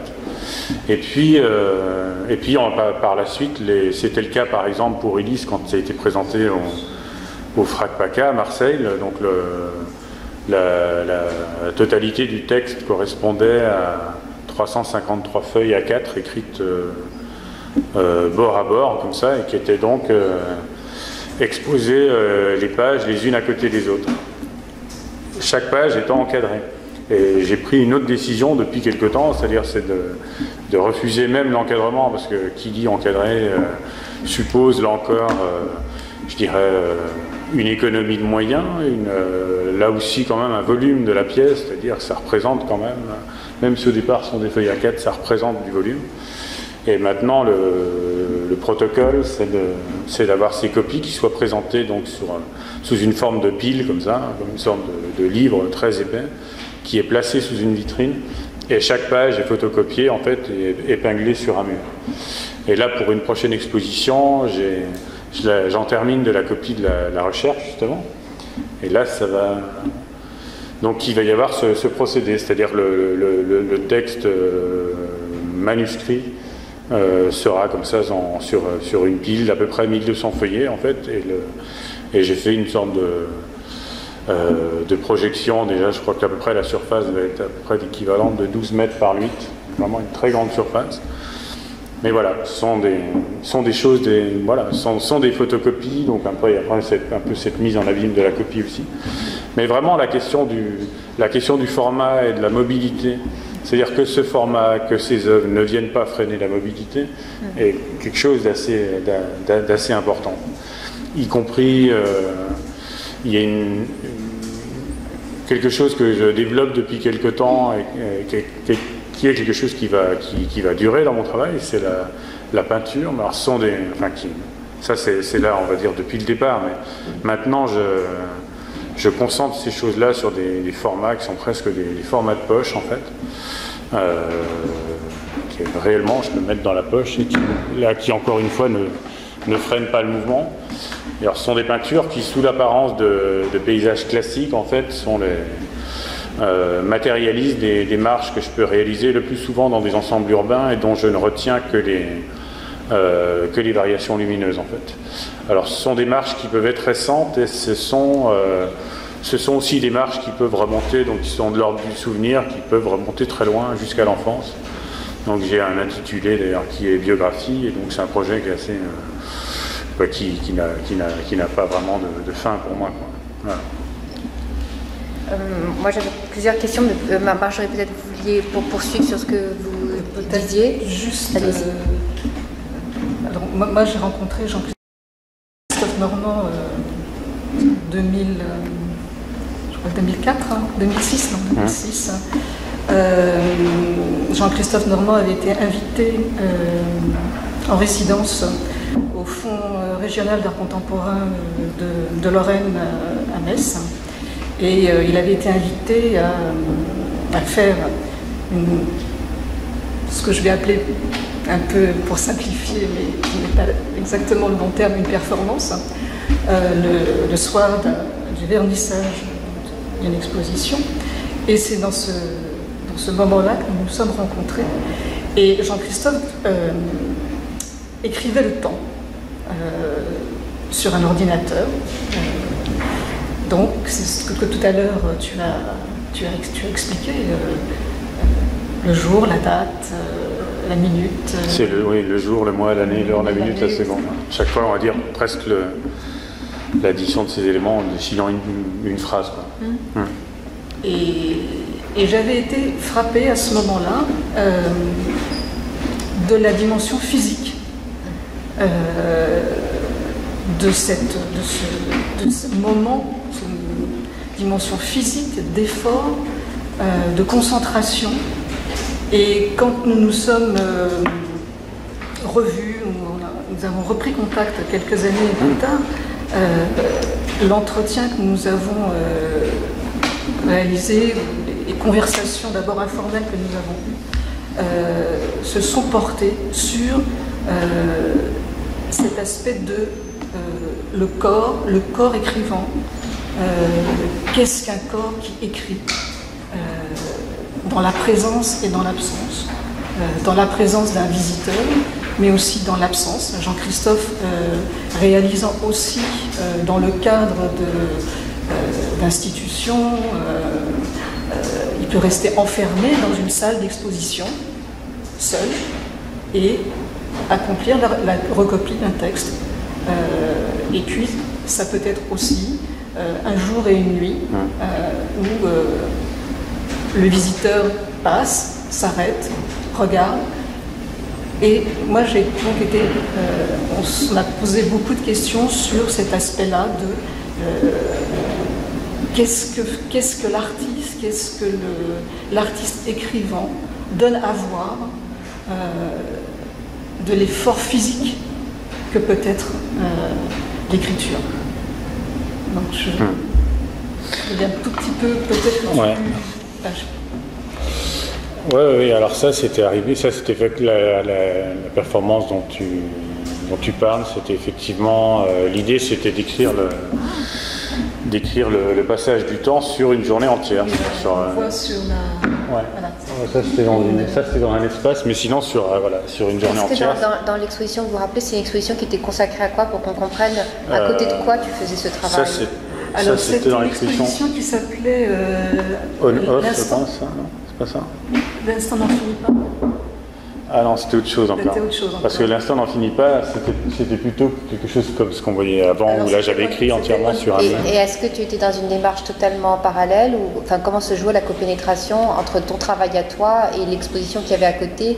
Ça c'est intéressant. Moi, ça, ça, quand on avait parlé de ce que tu avais fait à Metz l'année dernière, la question que je m'étais posée, c'est voilà, euh, comment euh, comment l'environnement le plus proche interagit ou n'interagit pas sur ton travail. J'ai l'impression que c'était presque un peu dans une bulle et par définition, il y a quand même aussi, bien évidemment, des interférences. Euh, là, c'était en fait le, parti pris de, de, Béatrice Joss qui avait donc, réalisé cette exposition, c'était de, je crois que c'était partagé en fait entre trois, trois institutions d'art contemporain. Il me semble qu'il y avait le, casino, le musée, le musée de Sarrebruck, je crois, et le FRAC. Et le FRAC était plongé entièrement dans le noir en fait. Donc c'était le off. Euh, donc il y avait des œuvres qui étaient très peu perceptibles. Et donc euh, moi j'écrivais pendant un jour et une nuit. Donc euh, il y avait une nocturne, le public était présent quand même, je ne sais plus, jusqu'à peut-être une heure du matin. Et le reste j'étais seul là-bas jusqu'au lendemain. J'ai fait ça de midi à midi en fait. Et donc le, donc il y a à la fois ce côté très répétitif d'ailleurs, hein. donc voilà, toujours, toujours sur les mêmes modalités, mais où, il les choses varient quand même beaucoup à la fin, c'est vrai que forcément la, fatigue, enfin même plus que la fatigue, l'épuisement arrivant, euh, à la fin le texte devient presque... il commence à y avoir des fautes, après on est, on est, même au-delà de l'erreur, ça devient une sorte d'écriture... Je trop à quoi ça correspond, les choses comme ça vraiment très très... ou à la fois presque continue, il n'y a plus de séparation entre les mots, tout, tout, tout se confond en fait. Et ce type d'action comme ça très longue, euh, euh, on va dire avec ce, protocole très simple bah, qui, d'une certaine manière d'ailleurs amène à, l'unité de temps qui, d'Ulysse, hein, de Joyce, euh, je l'ai réactivé à plusieurs reprises et dans différents lieux. Alors ça peut être, ça peut être des marches par exemple, des marches réalisées dans des villes comme ça, continues. Alors là aussi qui peuvent se matérialiser de façon très très très différentes. Euh, la, première marche que j'avais réalisée comme, ceci, c'était à Tokyo et j'en avais gardé une trace. Euh, j'avais laissé ouvert un enregistreur son. Euh, donc il y a toute tout l'enregistrement, en fait, le, son de la ville que, je suis en train d'arpenter. À Istanbul, par exemple, j'avais, j'avais utilisé des, petites cuillères à thé et à chaque, à chaque passage d'une heure à l'autre, en fait, j'indiquais ce temps avec ces deux petites cuillères comme ça posées sur le sol que je, que je photographiais. C'est souvent des traces assez, assez légères. Et euh, dans ce type d'action euh, sur la question de l'écriture, euh, là je vais prochainement, dans le cadre d'une exposition dans un centre d'art à Pologne, avec cette unité de temps, écrire continuellement également. Mais cette fois-ci, je ne sais pas ce que je vais écrire. C'est-à-dire, je vais écrire à la fois objectivement ce que je suis en train de dire, une sorte de description de ça, et puis euh, certainement euh, tout un tas de choses qui vont traverser mon esprit à ce moment-là. Donc ça va être euh, un récit qui va être à la fois voilà, quelque chose que je mène d'un bout à l'autre, et puis aussi qui va être traversé de, de bah, tout, tout, ce qui touche justement à la, dimension physique du, geste même d'écrire. Voilà, une sorte de nouveau je ne sais pas si on peut appeler ça un défi, mais en tout cas, quelque chose qui me, qui m'intéresse beaucoup. D'écrire comme ça, dans cette obligation, dans cette unité de temps. Moi, peut-être un, certain nombre de, questions pour euh, redonner en fait essentiellement la, parole aux uns et aux autres. Euh, c'était cette question de la patrimonialisation et de la disparition. Euh, c'est-à-dire qu'il me semble qu'à la fois tu es évidemment attaché à montrer ton travail et, Jean-Michel en, parlait tout à l'heure c'est un travail qui disparaît, qui est installé dans l'éphémérité. Euh, comment toi, justement, euh, tu t'attaches ou tu, te détaches finalement aussi vite euh, de, ce que tu de ce que tu produis? Donc, à la fois ce travail dans les villes et à la fois donc un travail dans un espace muséal ou pour une commande, etc., qui par définition se font dans des environnements très particuliers. Après, revenir effectivement sur cette question des choix littéraires, et la dernière chose que tu viens de dire m'intéresse, ou moi j'imaginais, mais donc je me trompe, euh, que ta, tête était remplie non pas d'un musée imaginaire, mais d'une bibliothèque imaginaire. Et il y avait un tiroir Borges, un tiroir euh, Joyce, un tiroir Proust, etc. Tu mélangeais, tu cherchais. Quand je t'avais posé la question, tu m'avais dit, je me souviens très bien, euh, en fait, je suis dans mon atelier, j'ai ma bibliothèque, et puis j'attrape un livre et, je copie. là, j'ai le sentiment donc qu'on passe à une étape différente où là, il va y avoir donc production d'un autorécit. Alors euh, ça, m'intéresse, donc cette question quand même de bibliothèque des temps, bibliothèque imaginaire, autorécit. Euh, ce qui m'intéresse aussi, et là directement, puisque nous sommes dans un séminaire sur le, dessin, euh, c'est comment ton écriture devient dessin, cette espèce de, passation, de, métamorphose finalement du graphe euh, évidemment, je vais en parler, il n'y aura pas le visuel derrière moi, mais tu parlais justement, euh, et, là ça rejoint tout à fait ce que disait Marjorie à l'instant, c'est-à-dire que l'effort, le temps de la création font qu'effectivement, au bout d'un jour et une nuit, tu t'épuises. Donc le, marquage de ta main, les inflexions euh, du stylo, les inflexions du feutre, etc., tout cela change et, fait une espèce de, graphie mobile qui crée le dessin. tout ça, ça, m'intéresse beaucoup. Je voudrais savoir, enfin, je voudrais que tu tu nous réexpliques ça. Et puis alors encore une autre question, mais bon, qui n'a rien à voir, c'est pas grave, je la pose quand même. C'est la question de, l'esthétique de la commande. Par définition, tu es aussi guidé par ça. Euh, comment un travail aussi personnel euh, peut se faire, euh, on va dire, selon les, protocoles d'une commande et dans des lieux qui ne seraient pas choisis par toi. C'est-à-dire que là, il me semble qu'on est effectivement là aussi un peu dans cette dans, cet usage du monde de, Bouvier tu, vas dans des lieux qui te plaisent, eh bien, euh, comment faire un effort tel dans un lieu qui éventuellement ne te plairait pas hum. euh, Par exemple, pour revenir à Ulysse, elle, euh, déjà, déjà je, pour préciser des choses, moi je suis un artiste, j'ai pas besoin d'atelier. Donc j'ai pas d'atelier. Et j'ai un bureau, et dans mon bureau, il y a, enfin, je suis entouré de beaucoup de livres comme ça. Et Ulysse, j'ai pris le livre, euh, bon, je, l'avais lu, c'est quelque chose qui m'a qui m'a accompagné souvent, mais euh, au moment où, on va dire, je, je sors le livre euh, de la bibliothèque et je sais que je vais, je vais passer un temps très très long avec cet ouvrage, moment de la décision, il est, quand même très court, il est assez intuitif. Pourquoi il est dans, la, pourquoi il est dans ta bibliothèque Comment il est arrivé dans ta bibliothèque Qui te l'a donné Quand l'as-tu lu euh, Est-ce que ce sont des questions d'héritage Est-ce que c'est non, non, non, toi qui as construit Voilà. C'est un livre que j'ai acheté, que j'ai lu. Euh, j'ai lu en partie. Pourquoi, comment, à quel moment J'ai lu en partie, à plusieurs moments. Euh, je crois que ce qui m'avait marqué déjà, c'est, si, je ne me trompe pas, c'est la, c'est même la dimension euh, physique de la lecture de, ce texte, et euh, dont, Kerouac parle dans, il me semble qu'il parle de ça dans, Sur la route, où euh, il lit ce texte en, assez peu de jours, finalement, d'une façon très très continue. Il parle de lecture du texte où il est dans le métro, il lit sans arrêt, il sort, il marche, il continue à lire. Donc ça, ça m'avait beaucoup marqué je crois que c'est ce qui m'a donné le plus envie, plus que, plus que tous les textes qui ont pu écrits autour de, qui sont innombrables autour de, autour de, Joyce, qui m'avait donné envie de, de, lire ce livre et, justement d'être déjà dans cette, dans cette sorte de corporalité, on pourrait dire. Et puis au départ, dans, ce, dans, le choix de copier ce, ce, livre, dès le départ, j'avais... Euh, j'avais imaginé de le, recopier de plusieurs manières, c'est-à-dire de le recopier du début à la fin, donc sur cette feuille A4. Mais cette, première partie du projet étant terminée, de recommencer la copie, et cette fois-ci, euh, le plus souvent sous une forme de ligne, et dans des lieux dispersés euh, à, travers le, à travers le monde. C'est un projet, d'ailleurs, cette deuxième partie, c'est un projet qui est toujours en cours. Euh, la dernière fois où j'ai où j'ai continué la, copie de ce texte, c'était euh, c'était au Japon, je dois en être, je sais plus, la, page 400 et quelques. Et donc là, par exemple, si je, si je pars en Pologne dans un mois et demi, je continuerai ce projet. Quand je vais retourner au Japon également, je dois me rendre au Cambodge, donc euh, pareil. Donc chaque fois, je mène, euh, on va dire, je mène aussi plusieurs projets en même temps parce que ce sont des projets très très au long cours et je profite de différents voyages pour continuer ce texte. Et encore une fois, sur la question du livre, l'idée à la fin, c'est vraiment de, revenir au livre, en fait, et là de le concevoir, par exemple, donc de, deux manières, c'est-à-dire euh, à la fois en ayant un, facsimilé des feuilles, et, euh, et l'autre, l'autre, donc on, pourrait dire un livre en deux volumes, et l'autre volume serait le, dépliage, le dépliage du livre en fait sur le, sur le globe, et avec, les, avec finalement, euh, en se basant sur les, les traces photographiques que je garde de, ce texte.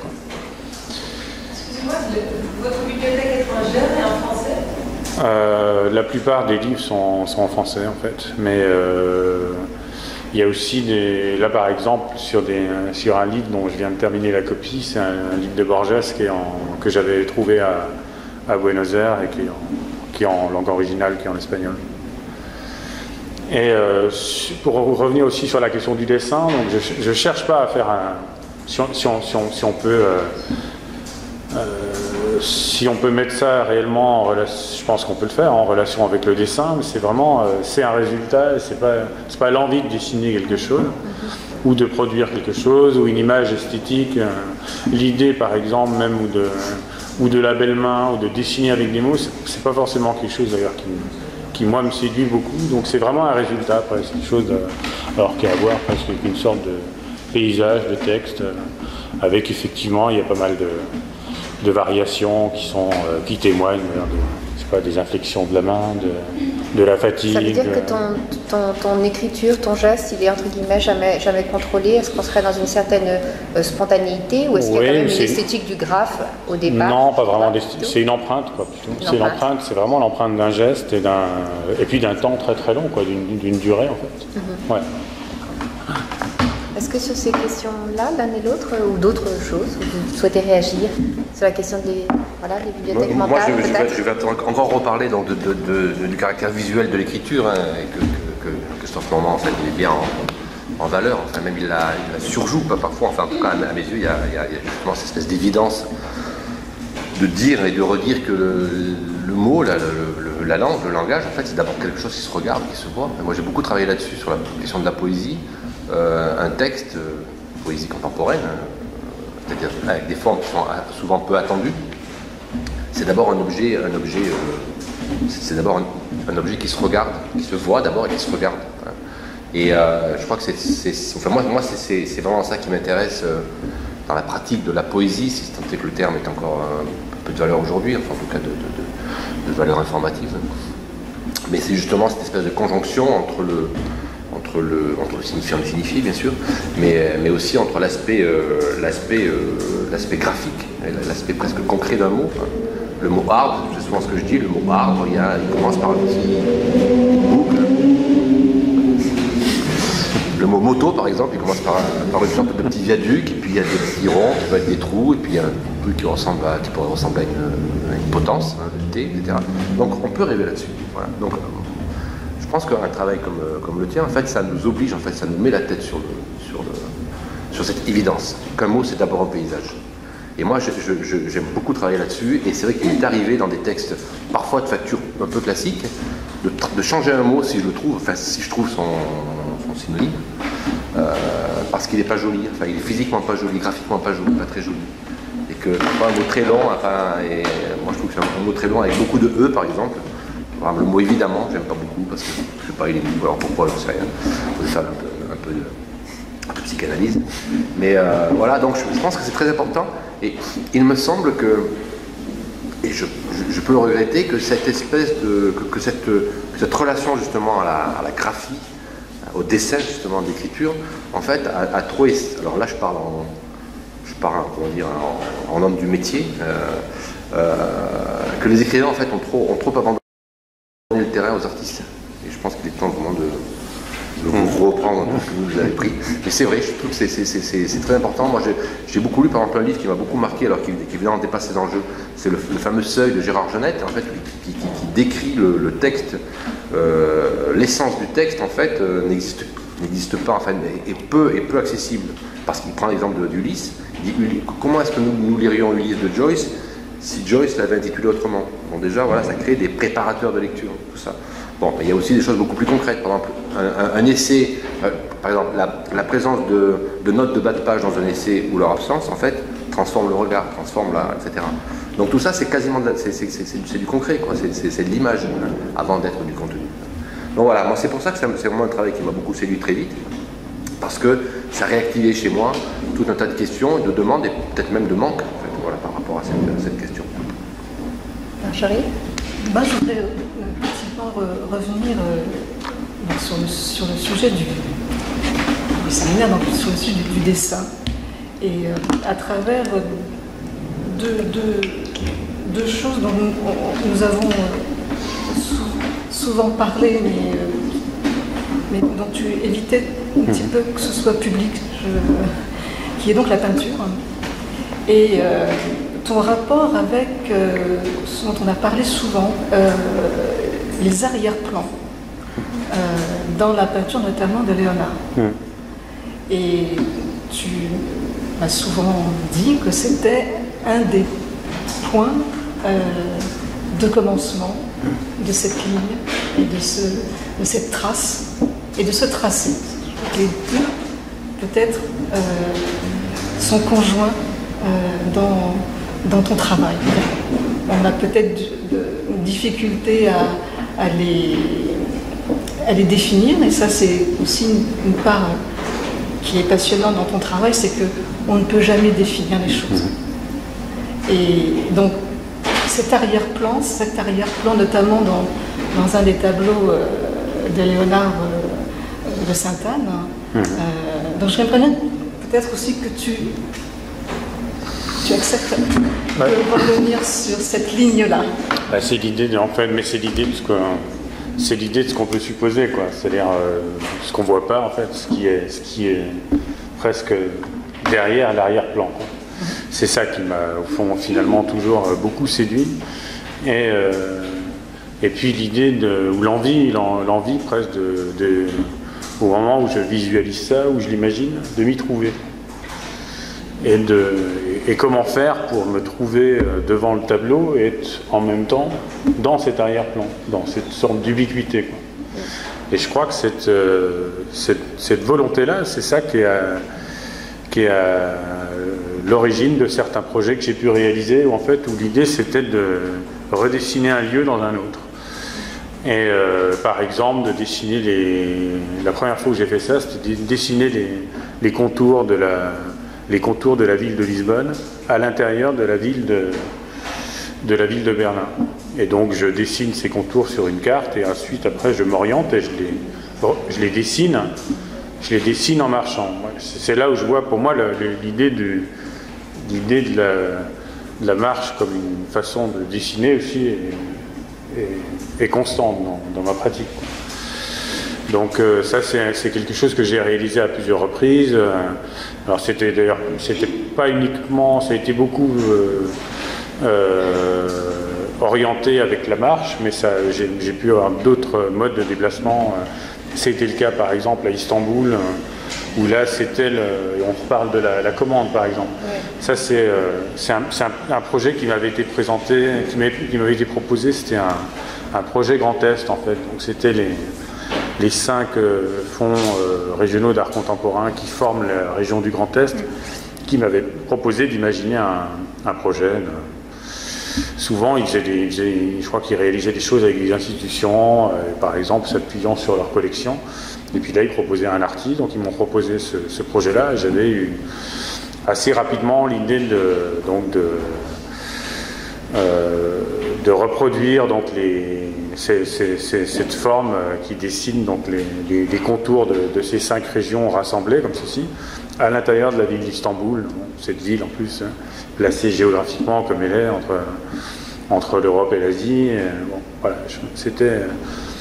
c'était pour moi une sorte de vision comme ça immédiate et euh, bon là-bas donc c'était en plus un espace qui était qui est quand même très très vaste assez complexe et puis euh, et puis là le- la question du, de dessiner la ligne elle se faisait aussi par les par les voies de la navigation parce que bon euh, que ce soit je sais pas sur le, le, le Bosphore la Corne d'Or etc donc là il a fallu euh, il a fallu aussi collaborer c'est-à-dire qu'il faut rencontrer des gens qui se- qui puissent, bah, qui puissent me conduire en bateau, suivre cette ligne et redessiner la ligne sur, sur la mer. quoi.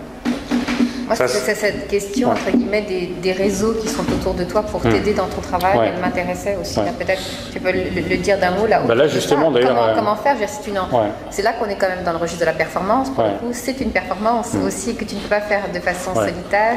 Euh, tu l'as fait avec l'environnement, tu l'as fait avec des gens, Hmm. tu l'as fait avec un milieu, tu l'as fait avec un pays. Euh, voilà, comment, Ouais. comment ça se passe À Istanbul, d'ailleurs, j'avais, je me, je me suis très peu, pour la première fois, je me suis extrêmement peu appuyé sur des, euh, sur une technique classique d'orientation, que ce soit avec la boussole, le GPS ou quoi. Je, je m'en remettais essentiellement à la parole des gens, en fait. C'est-à-dire, des gens m'accompagnent, euh, me, me, me- avaient la carte, voyaient le point où je me situais, je disais là, il faut absolument que je me rende à tel autre point. Donc, ils, ils m'indiquaient ça. D'ailleurs, j'ai matérialisé ça beaucoup par ces, par ces images où on voit des gens montrer euh, des points comme ça, ou marcher avec moi, en fait. Euh, donc ça, c'était... euh, donc c'était aussi beaucoup, évidemment, beaucoup de, beaucoup de mots, beaucoup de langage, hein, beaucoup de, moments échangés comme ça.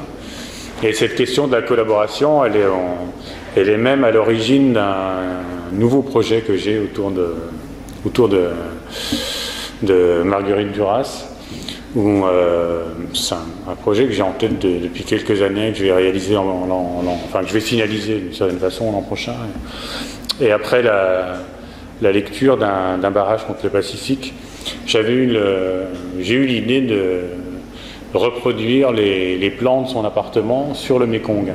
Mais je voulais pas avoir, euh, je voulais pas avoir, euh, je pas, retrouver ses plans, euh, avec une notion très froide, très précise. Je voulais absolument rencontrer quelqu'un qui avait fréquenté, fréquenté cet appartement et euh, qui soit capable de me, de- me dessiner l'appartement de, mémoire.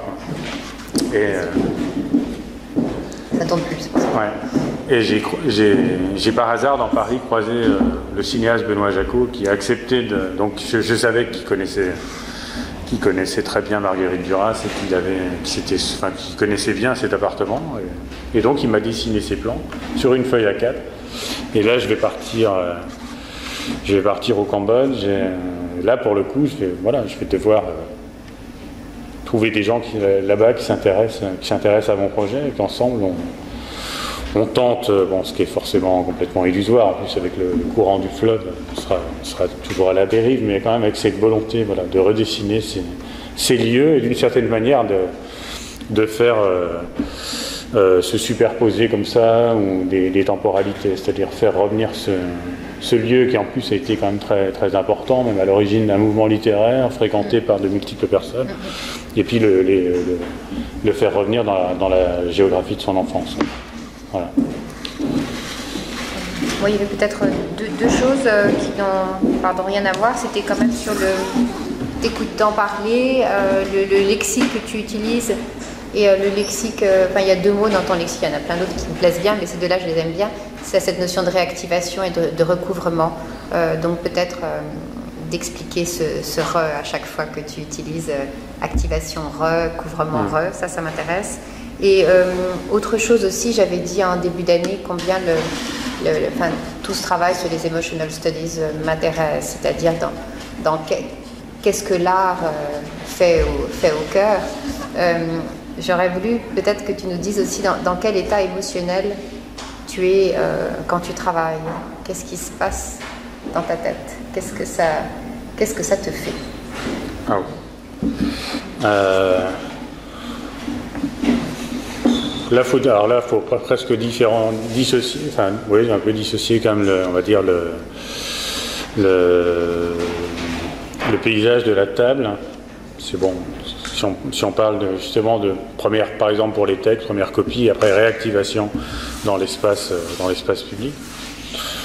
Donc, euh, je sais pas, c'est un mélange. Ce qui se passe, là, ce qui se passe dans mon, dans mon esprit ou dans mon cerveau à ce moment-là, c'est à la fois, c'est à la fois une sorte d'hyper concentration parce que ça, ça suppose quand même euh, euh, chaque fois une mémorisation d'une phrase ou d'une partie du- d'une phrase pour la, recopier. Des fois aussi euh, forcément dans ce, geste répétitif. euh, c'est- aussi traversé par la rêverie, voire même des fois l'imagination de projets futurs qui, qui vont arriver en fait. Après, dans l'espace, urbain, c'est c'est très très varié pour le coup, parce que je suis, je, parce que je, je traverse des situations variées. Je suis. Et comment se passe dans l'espace urbain justement la conjonction entre l'hyperconcentration sur l'effort physique, Hum. qui est là et qu'on imagine euh, colossalissime, et précisément cette mémorisation euh, textuelle et littéraire? Comment ça se passe? Et, et est-ce que c'est un état de, de transe? Oui, non, Euh. comment D'hyperconcentration, de, de, au contraire d'austérité Moi j'ai du mal, je suis Alors. totalement incapable de qualifier. Ouais, d'austérité, on pourrait le croire, mais pas du tout. Pas du tout. Euh, il y a aussi une, il y a aussi une chose qu'on pourrait imaginer, c'est euh, une certaine lenteur. Et, je- et- et en étant concentré sur la copie, je vois, que, je vois que ça va finalement assez vite, puisque c'est un effort euh, qui continue. Et quand j'écris comme ça continuellement pendant des heures, euh, sans forcément faire très attention au paysage autour, je me rends compte que j'ai traversé euh, une partie d'une ville. Donc il y a aussi une, presque une forme paradoxale de, vitesse. Après, il y a beaucoup d'interruptions aussi, parce que les gens m'interrogent. Un, point qui est important aussi pour moi, c'est que je ne dis jamais, à part vraiment, euh, vraiment avec beaucoup d'insistance, que c'est un, un, geste artistique. Donc je dis que je fais ça. Alors, des gens, euh, des gens associent ça euh, très, très directement à, des, un projet artistique quand je suis dans certains quartiers. il suffit que je suis dans, dans un certain quartier près d'un musée ou, alors un, un, quartier où il y a des galeries, ils vont y voir. Il y a des facteurs bloquants aussi, il y a des empêcheurs Rarement, rarement, rarement. C'est même plutôt, euh, par exemple. Hein non, c'est même. les, hostilités, par exemple, dans une ville comme New York, ça allait être plus dans les quartiers un peu chics. genre, mais ça va ça va un peu dégrader le devant de nos boutiques dans la 5e avenue par exemple. Ah et quelque chose de contraire, très. Euh, j'ai traversé des quartiers un peu chauds par exemple, et j'ai vraiment l'impression qu'au contraire ce geste me, mettait à l'abri de tout. Mm. Et euh, je sentais les gens très, même assez protecteurs et très, et très intéressés. Mais justement, je pense aussi par cette idée du fil, c'est-à-dire c'est quand même aussi quelque chose qui, qui relie, qui relie, des, qui relie les lieux qui ne sont pas forcément reliés euh, parfois. Euh, D'ailleurs, des gens, ils voyaient des fois une dimension, euh, une dimension politique. Moi, c'est quelque chose que je, enfin, que je ne refuse pas en soi, mais je, c'est pas une intention en tout cas. Je n'ai pas, pas, cette intention-là. Mais voilà, donc c'est très très variable. Après, l'idée de presque de, de trans, euh, ça je l'éprouve plus dans les. Bon, ça, ça arrive quand même dans l'écriture de cette ligne sur des moments très longs, mais je l'ai plus éprouvé de façon euh, presque, on pourrait dire, daté dans le moment d'une journée complète, comme ça, quand je fais ces actions très très longues, où il va y avoir, euh, bon, il y a un moment comme ça assez, euh, l'action commence, c'est assez long, euh, il y a une sorte de découverte comme ça, de ce temps très long, et puis comment, il y a un effort qui devient comme ça très très compliqué, et puis après une sorte d'un moment, vraiment un moment comme ça, comme une espèce de, de puissance, d'avoir un de vraiment sentir la possibilité de pouvoir même prolonger le moment encore, encore bien plus loin. Et, tout dans, ce moment-là, tout ce qui traverse mon esprit, euh, il n'y a plus de barrière. C'est-à-dire que j'imagine des projets futurs, d'ailleurs des choses absolument irréalistes, mais je, suis absolument certain qu'ils sont vont pouvoir se faire sans aucun souci. Et s'ensuit derrière une phase euh, complètement sombre, plutôt presque un peu dépressive, où là, bon, où la chose se retourne, et c'est vraiment l'épuisement qui parle, et puis après, euh, puis après la fin, c'est simplement un, état de résistance. Mais là, c'est des choses que je décris comme ça, mais c'est vrai qu'ils ne sont pas... Euh, sont pas visibles, hein. y compris par exemple, y compris quand c'est dans une marche. Hein. J'avais réalisé une marche continue, par exemple, euh, en étant invité par, le musée d'art contemporain d'Épinal, donc la chose était, euh, euh, cette performance était programmée, euh, donc le public était convié, mais je ne marchais pas sur une scène, je marchais dans le, je marchais dans le musée et il n'y avait pas de, il n'y avait pas mon portrait. Donc les gens ne savaient pas qui j'étais. Et finalement, pour, pour, pour percevoir l'artiste qui avait la performance, il fallait soi-même rester très très longtemps, faire une sorte d'extension comme ça de la visite, pour se dire, tiens, ça fait plusieurs fois que je croise cette personne, ça fait trois heures qu'il est aussi dans le musée, donc ça pourrait être lui. Et puis après, il y a aussi tout, le, tout le moment où le musée en fait était fermé, où je marchais, où je marchais seul. Et euh, là, à part, le, à part les personnes qui étaient sur place pour la sécurité, personne ne pouvait, pouvait me voir. Cette espèce de, tout à l'heure j'en disais un mot un instant, de euh, sympathie, empathie, antipathie avec le lieu. Enfin, je veux dire, euh, est-ce que tu es déjà euh, arrivé quelque part et en ayant une espèce sinon de, répugnance, de rejet, de sentir que le, lieu ne t'est pas favorable et, là, est-ce que le travail peut se faire ou est-ce que le travail se fait parce qu'il y a empathie territoriale aussi? Non, ça m'est finalement pas arrivé, mais là aussi, là, je reviens, je reviens à ma pratique d'avant. C'est un milieu qui pourrait, alors comme une comme une face alpine pour être comme ça, a priori un peu plus complexe, mais c'est un, donc c'est, il faut, c'est une adaptation, quoi, presque un, euh, terrain mixte, quoi, pour, pour emprunter euh, au terme, à ces termes-là. Mais non, j'ai, jamais vécu, euh, jamais vécu des choses comme ça.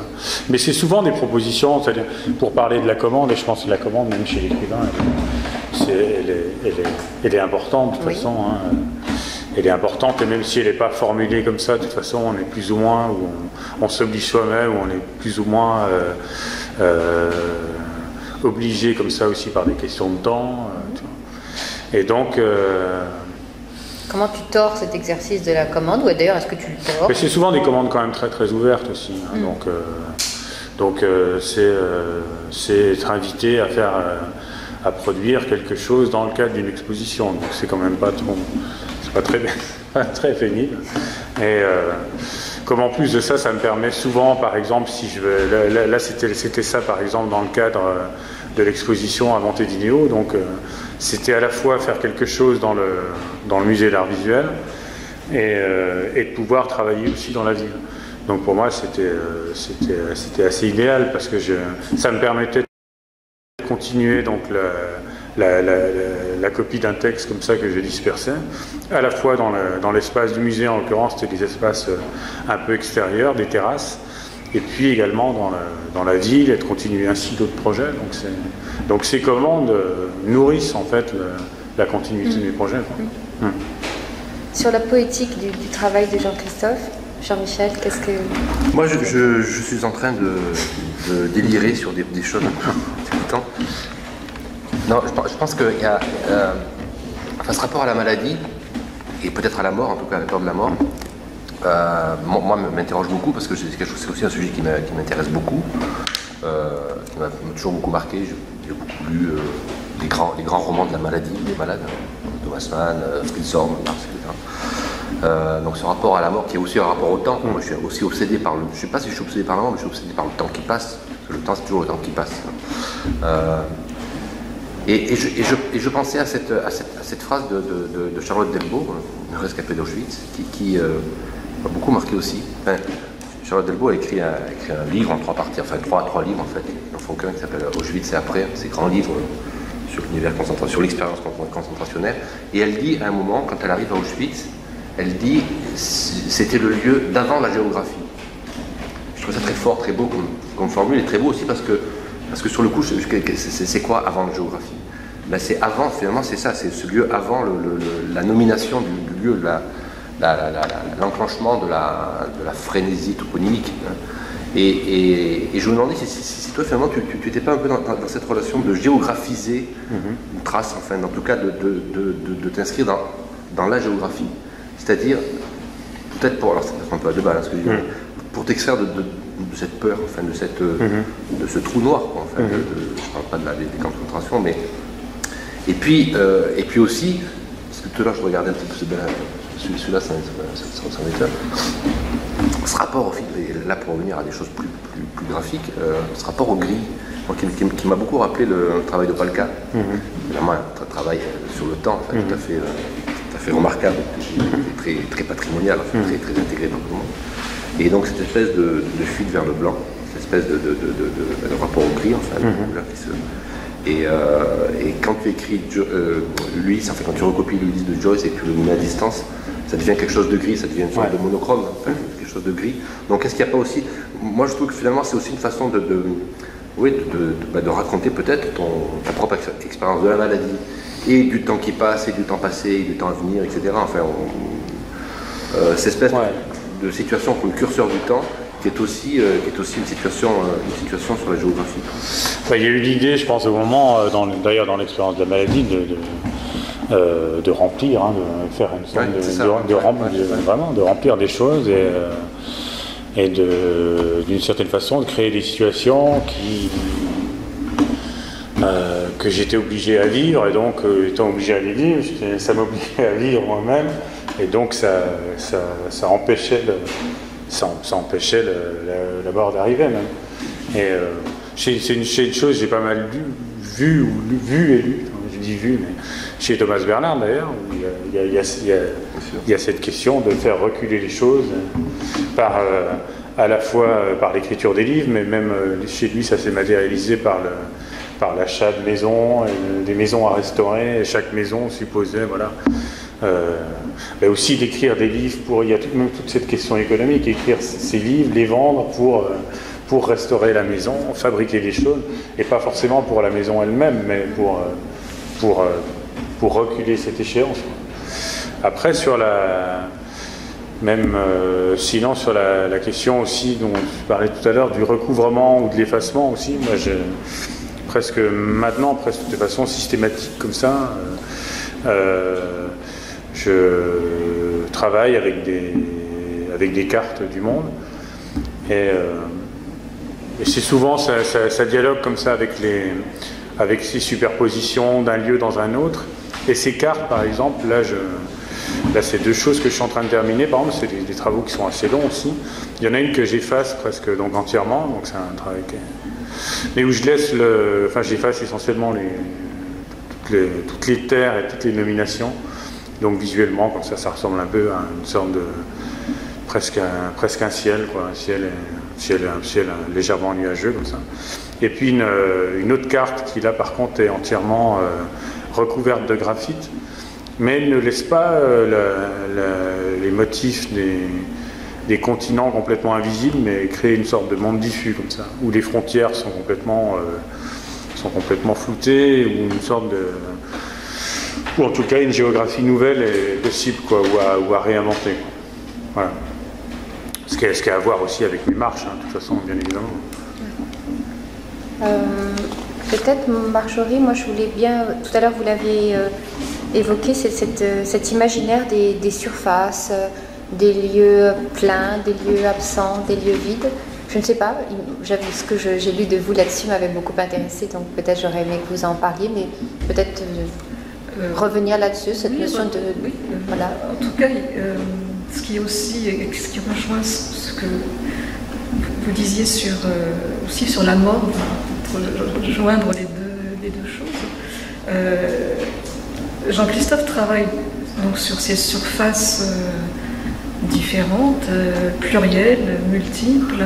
Euh, il va décliner et poursuivre les lignes, les phrases euh, sur, euh, j'ai envie de dire, toutes les surfaces possibles qui viennent, qui viennent à, sa, rencontre. Et il y a aussi une concomitance euh, des projets euh, dans le travail de Jean-Christophe euh, comme une sorte de désir ou de peut-être d'angoisse d'emplir et de et une angoisse presque compulsive à travailler sur cette pluralité de surface et sur des concomitances de projets. C'est-à-dire que euh, il y a un projet et puis un autre va venir, euh, à la fois recouvrir, euh, se superposer, euh, redevenir singulier.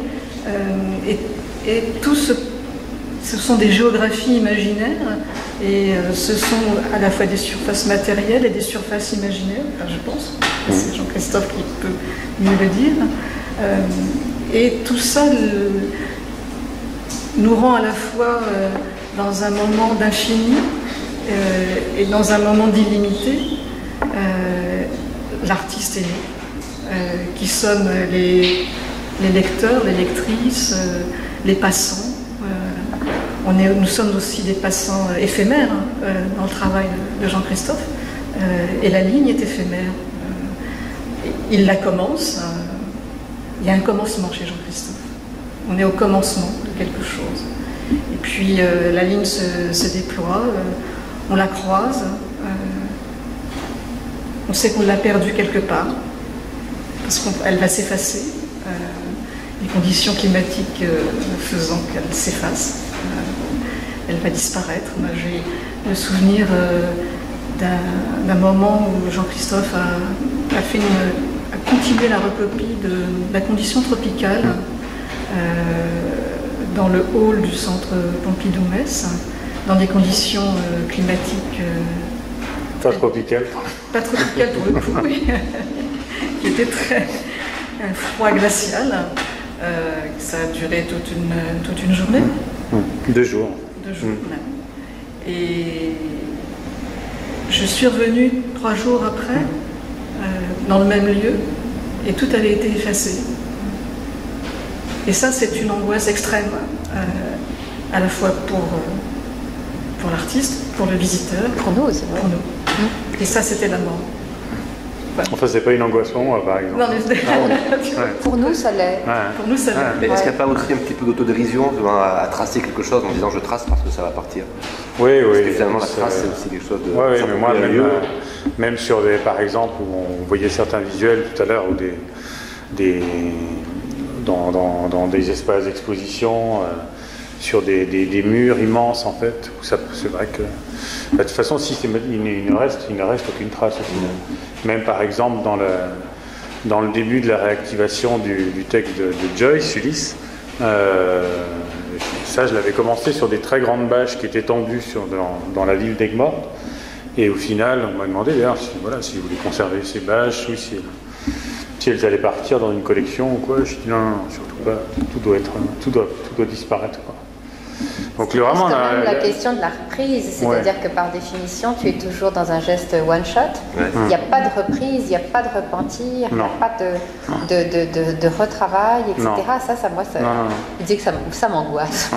Ah oui, c'est- ça- je pense que c'est voulu, c'est voulu, c'est voulu, je crois qu'il- Ouais. Voilà, et, c'est- c'est c'est comme ça, voilà, c'est quand même assez, assez étonnant de se dire que euh, ce premier geste, ce geste, ce geste spontané, il, il- il est seul et unique, il, il ne sera pas repris et il s'efface en même temps très très vite. Euh, c'est euh, c'est très étonnant, c'est très euh, aussi, enfin il y a, il y, a, ouais, il y a- il y a cette notion d'abandon dans la, dans la disparition presque, presque immédiate que moi je trouve très, ce que j'aime beaucoup dans, dans- dans ton travail, c'est- le, le caractère gratuit. Je veux dire, on n'arrête pas de, de scier entre moi, me semble-t-il, une force d'effort euh, extrême et un effort extrême qui est gratuit, puisque on, on- on est profilé euh, dès l'amont pour la disparition. Ça, et comment, comment tu gères cette... euh, enfin, gère, putain, elle est horrible. là. Ouais. Comment cette tension-là... Comment cette tension, justement, entre l'effort extrême et un effort extrême pour le, le- le- le futur disparu, c'est très étonnant, ça, par Mais, définition. ouais, mais il y a plusieurs temporalités. Enfin, il en reste quand même des choses finalement. Hein. de parler, Même si, même si ce sont des traces très légères, il, est- il en reste des choses, des évocations. Quoi. Moi, j'aime bien les- les évocations comme ça. C'est c'est une chose qui m'a toujours, euh, qui, me- séduit toujours beaucoup. Par exemple, c'est pareil dans mon, dans mon, imaginaire, dans l'enfance, par exemple. Encore une fois, pour reparler de la, pour reparler de la montagne, j'étais très très sensible sur les, euh, en face euh, d'images qui étaient d'ailleurs qui avaient des fois un peu une pauvreté technique comme ça, parce bon, voilà, la technique n'était pas ce qu'elle est maintenant, et on voyait des images un peu floues comme ça, des alpinistes, on n'avait que quelques images, et on pouvait absolument euh, tout imaginer. C'est vrai que maintenant, euh, ça, c'est des fois un peu compliqué, parce qu'il y a même, euh, je crois même qu'il y a des, des- points internet sur les, sur les sommets, on peut, on peut être repéré par les satellites, tout ce qu'on veut. Et moi, c'est l'idée de garder assez peu de choses comme ça, et donc de que le spectateur, d'une certaine façon, puisse après euh, ben, réécrire en fait, parce que chaque fois, évidemment, moi, je ne peux pas avoir un, je peux pas avoir une trace exhaustive de cette écriture. Euh, elle l'est d'une certaine façon sur, le, sur la page, hein, dans, dans les pages exposées. Après, sur la ligne, ce sont des, ce sont des fragments, des fragments de texte. Mais euh, Mais tu acceptes quand même éventuellement que ta création soit patrimonialisée, que des œuvres rentrent au musée. Comment euh, justement, euh, voilà, il y a à la fois cette, cette inscription euh, dans le sol, dans le territoire, dans l'urbain, et il y a en même temps certaines pièces qui seraient patrimonialisables. Pourquoi celle-là euh, et, et pas d'autres? Qu'est-ce que ça dit? Ça veut dire donc qu'il y a donc une, une présélection qui est faite par toi, ce qui doit s'effacer, ce qui doit rester. C'est quand même assez étonnant. Ouais, mais c'est une document. Enfin, bon, ça c'est clair. Enfin, en même temps, ça s'opère aussi, je sais pas, je pense chez des, chez des, des artistes comme Francis Alice, Gabriel Roscoe, par exemple. C'est une documentation aussi. euh. Enfin, ça dépend. hein, moi, je vais pas- après, je vais pas parler à leur place, mais il y a des choses qui sont de l'ordre de la, de la documentation d'un travail, des pièces qui peuvent avoir, euh, euh, qui peuvent avoir une autonomie. euh, Je pense qu'il est plus le cas de certaines photographies chez Roscoe, par exemple. Oui. Mais c'est pas. Bon, c'est aussi quelque chose, je pense, d'assez répandu chez, chez d'autres artistes. Et comment tu typologises ton travail alors Moi, souvent, euh, par exemple, sur, euh, sur, euh, sur ce qui va matérialiser la traversée d'une ville, il y a le plan. Donc, ça permet de visualiser quand même le, parcours. Et puis, après, il y a une, une alternance de photographies qui rendent compte à la fois, quand, quand c'est possible, par exemple, d'une vue, une vue dominante de la ligne où on voit très bien, comme ça, un espace très très long. Euh, des photographies, on pourrait dire, de situation ou d'ambiance, euh, où on se rapproche plus de la ligne et cet espace que je décrivais tout à l'heure, un peu comme ça chorégraphié, où ces photographies, elles en rendent compte, et puis des photographies qui font un focus sur le, sur le texte. Euh, mais en fait, moi, au moment où je, quand je suis, euh, quand je photographie cette ligne, je, je photographie, je- je prends beaucoup de photographies. Je photographie énormément, et je- par contre, j'en garde très très peu. Et le, le choix, il s'opère quand je suis assez à distance dans le temps de, de ce que j'ai vécu, en fait. Donc c'est ce qui m'intéresse plus qu'un rapport, euh, plus qu'un rapport esthétique, c'est quelque chose qui va correspondre assez, assez justement à, à ce que j'ai pu vivre dans ce, dans, dans cette espèce, on pourrait dire, de- dans ces espèces de- d'expéditions horizontales comme ça dans les îles. Voilà, c'est un peu, c'est ça qui conduit mes choix. Moi, j'avais euh, une question sur ce, donc ce futur projet qui, qui- qui est le tien, donc d'être cette fois-ci dans l'autonarration, dans l'autorécit. Euh, quelle, quelle place tu vas assigner à cet autorécit? Qu'est- Qu'est-ce qu'il devra devenir? Il sera aussi, lui, euh, effacé, effaçable? Ou il a pas. la volonté à Euh, être euh, publié? Pourquoi oui, pas. Quoi? Ouais, Tu sais pas, pourquoi pas, sais Est-ce que tu pas. sais déjà, est-ce que tu lui assignes une place déjà ou tu n'assignes rien?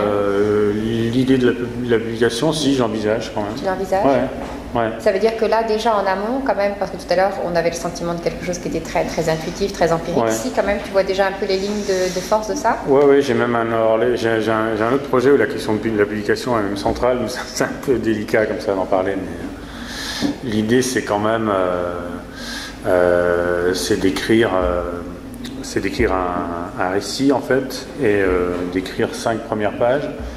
Avec ces cinq pages, euh, de trouver un éditeur qui s'engage pour la publication d'un récit. Euh, que, je, que, je, que je vais réaliser dans un lieu.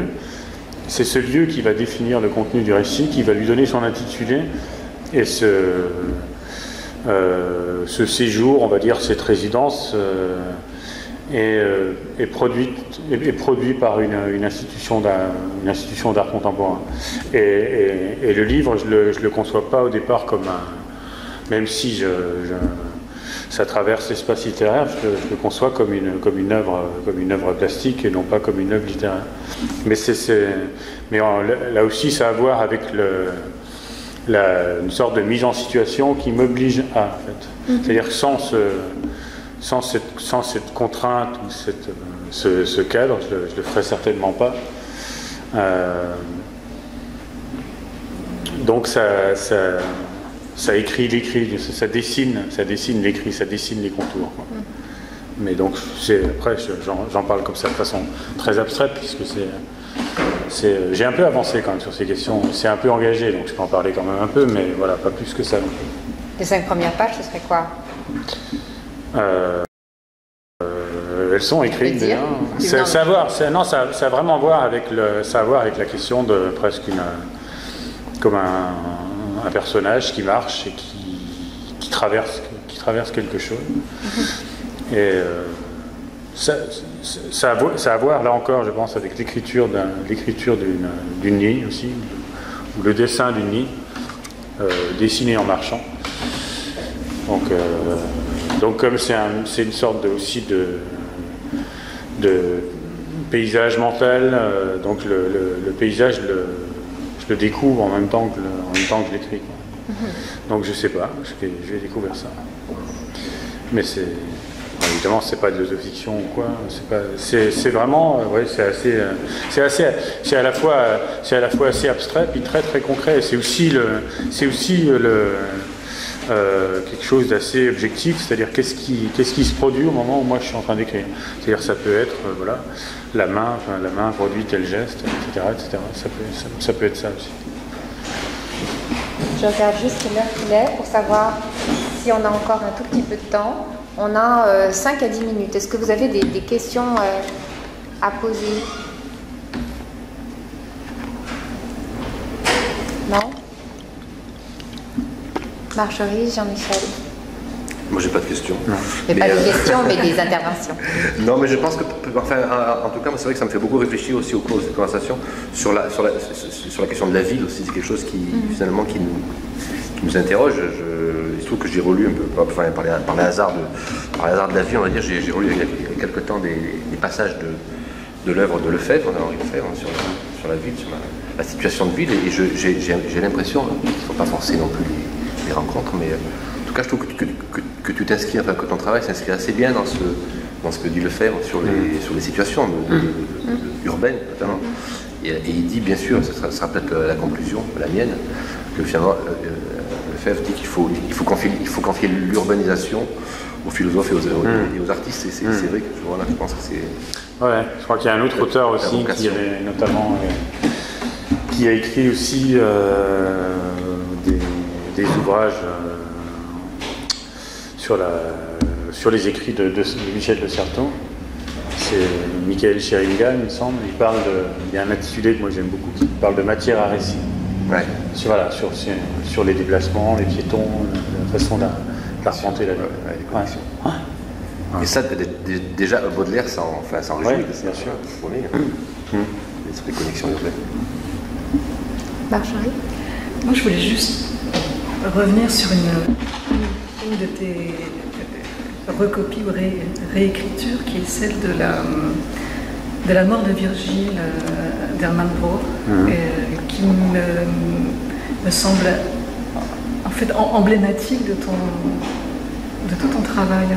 Euh, D'abord par, le, par, la, théma, par la, la, thématique même du, du livre, euh, et puis le fait que ce, cette recopie, qui est sur une grande bâche, euh, renvoie aussi à ce que disait Agnès tout à l'heure sur euh, le, le, fait qu'il y a des pièces que, qui, que tu acceptes qu'elles soient au musée euh, et qu'elles soient euh, considérées ensuite comme pièces euh, muséales.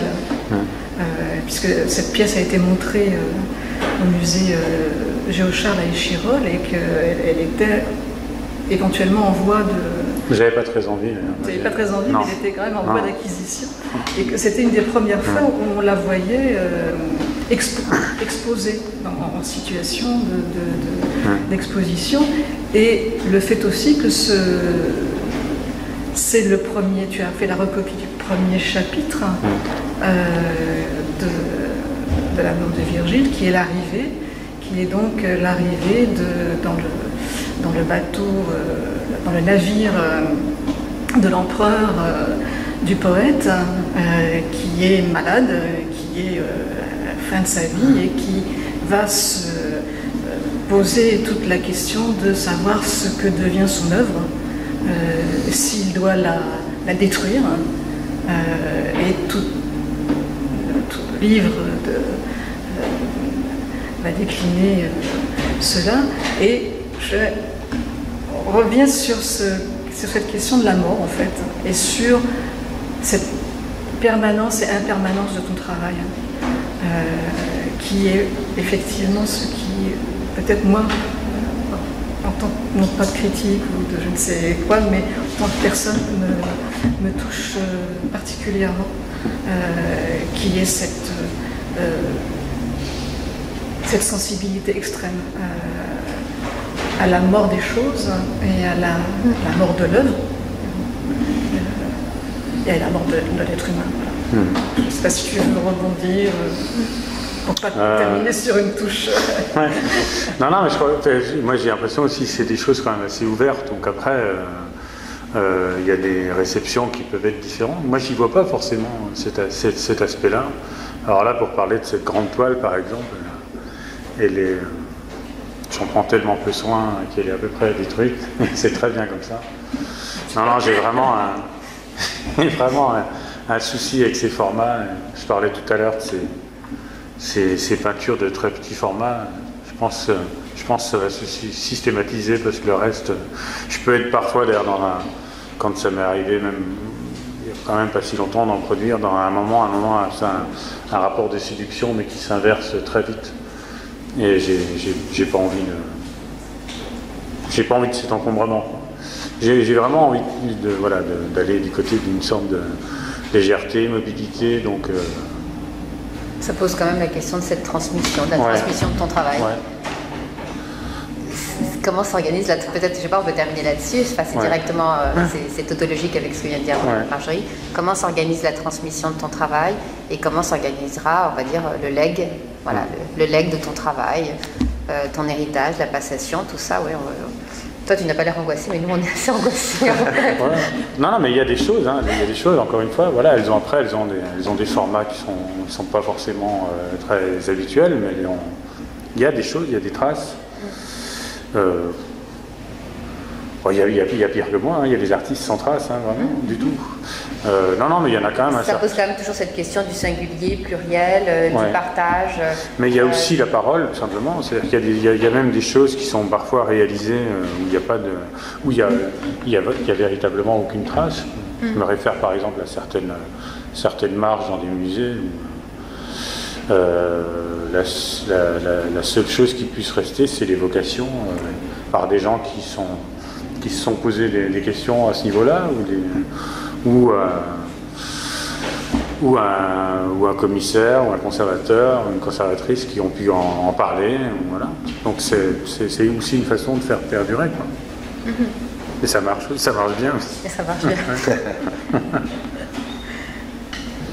Des questions ou alors c'est le mot de la fin? Ça marche bien, c'est pas mal comme mot. Ça marche bien, hein, c'est pas mal. Merci infiniment à Jean-Christophe, euh, Jean-Michel, Marjorie d'être venus. Merci à vous d'être présents. On se retrouve pour une prochaine séance euh, le 21 mai. Merci, bonne journée et bon week-end. Merci. à vous. Merci. Merci. Merci.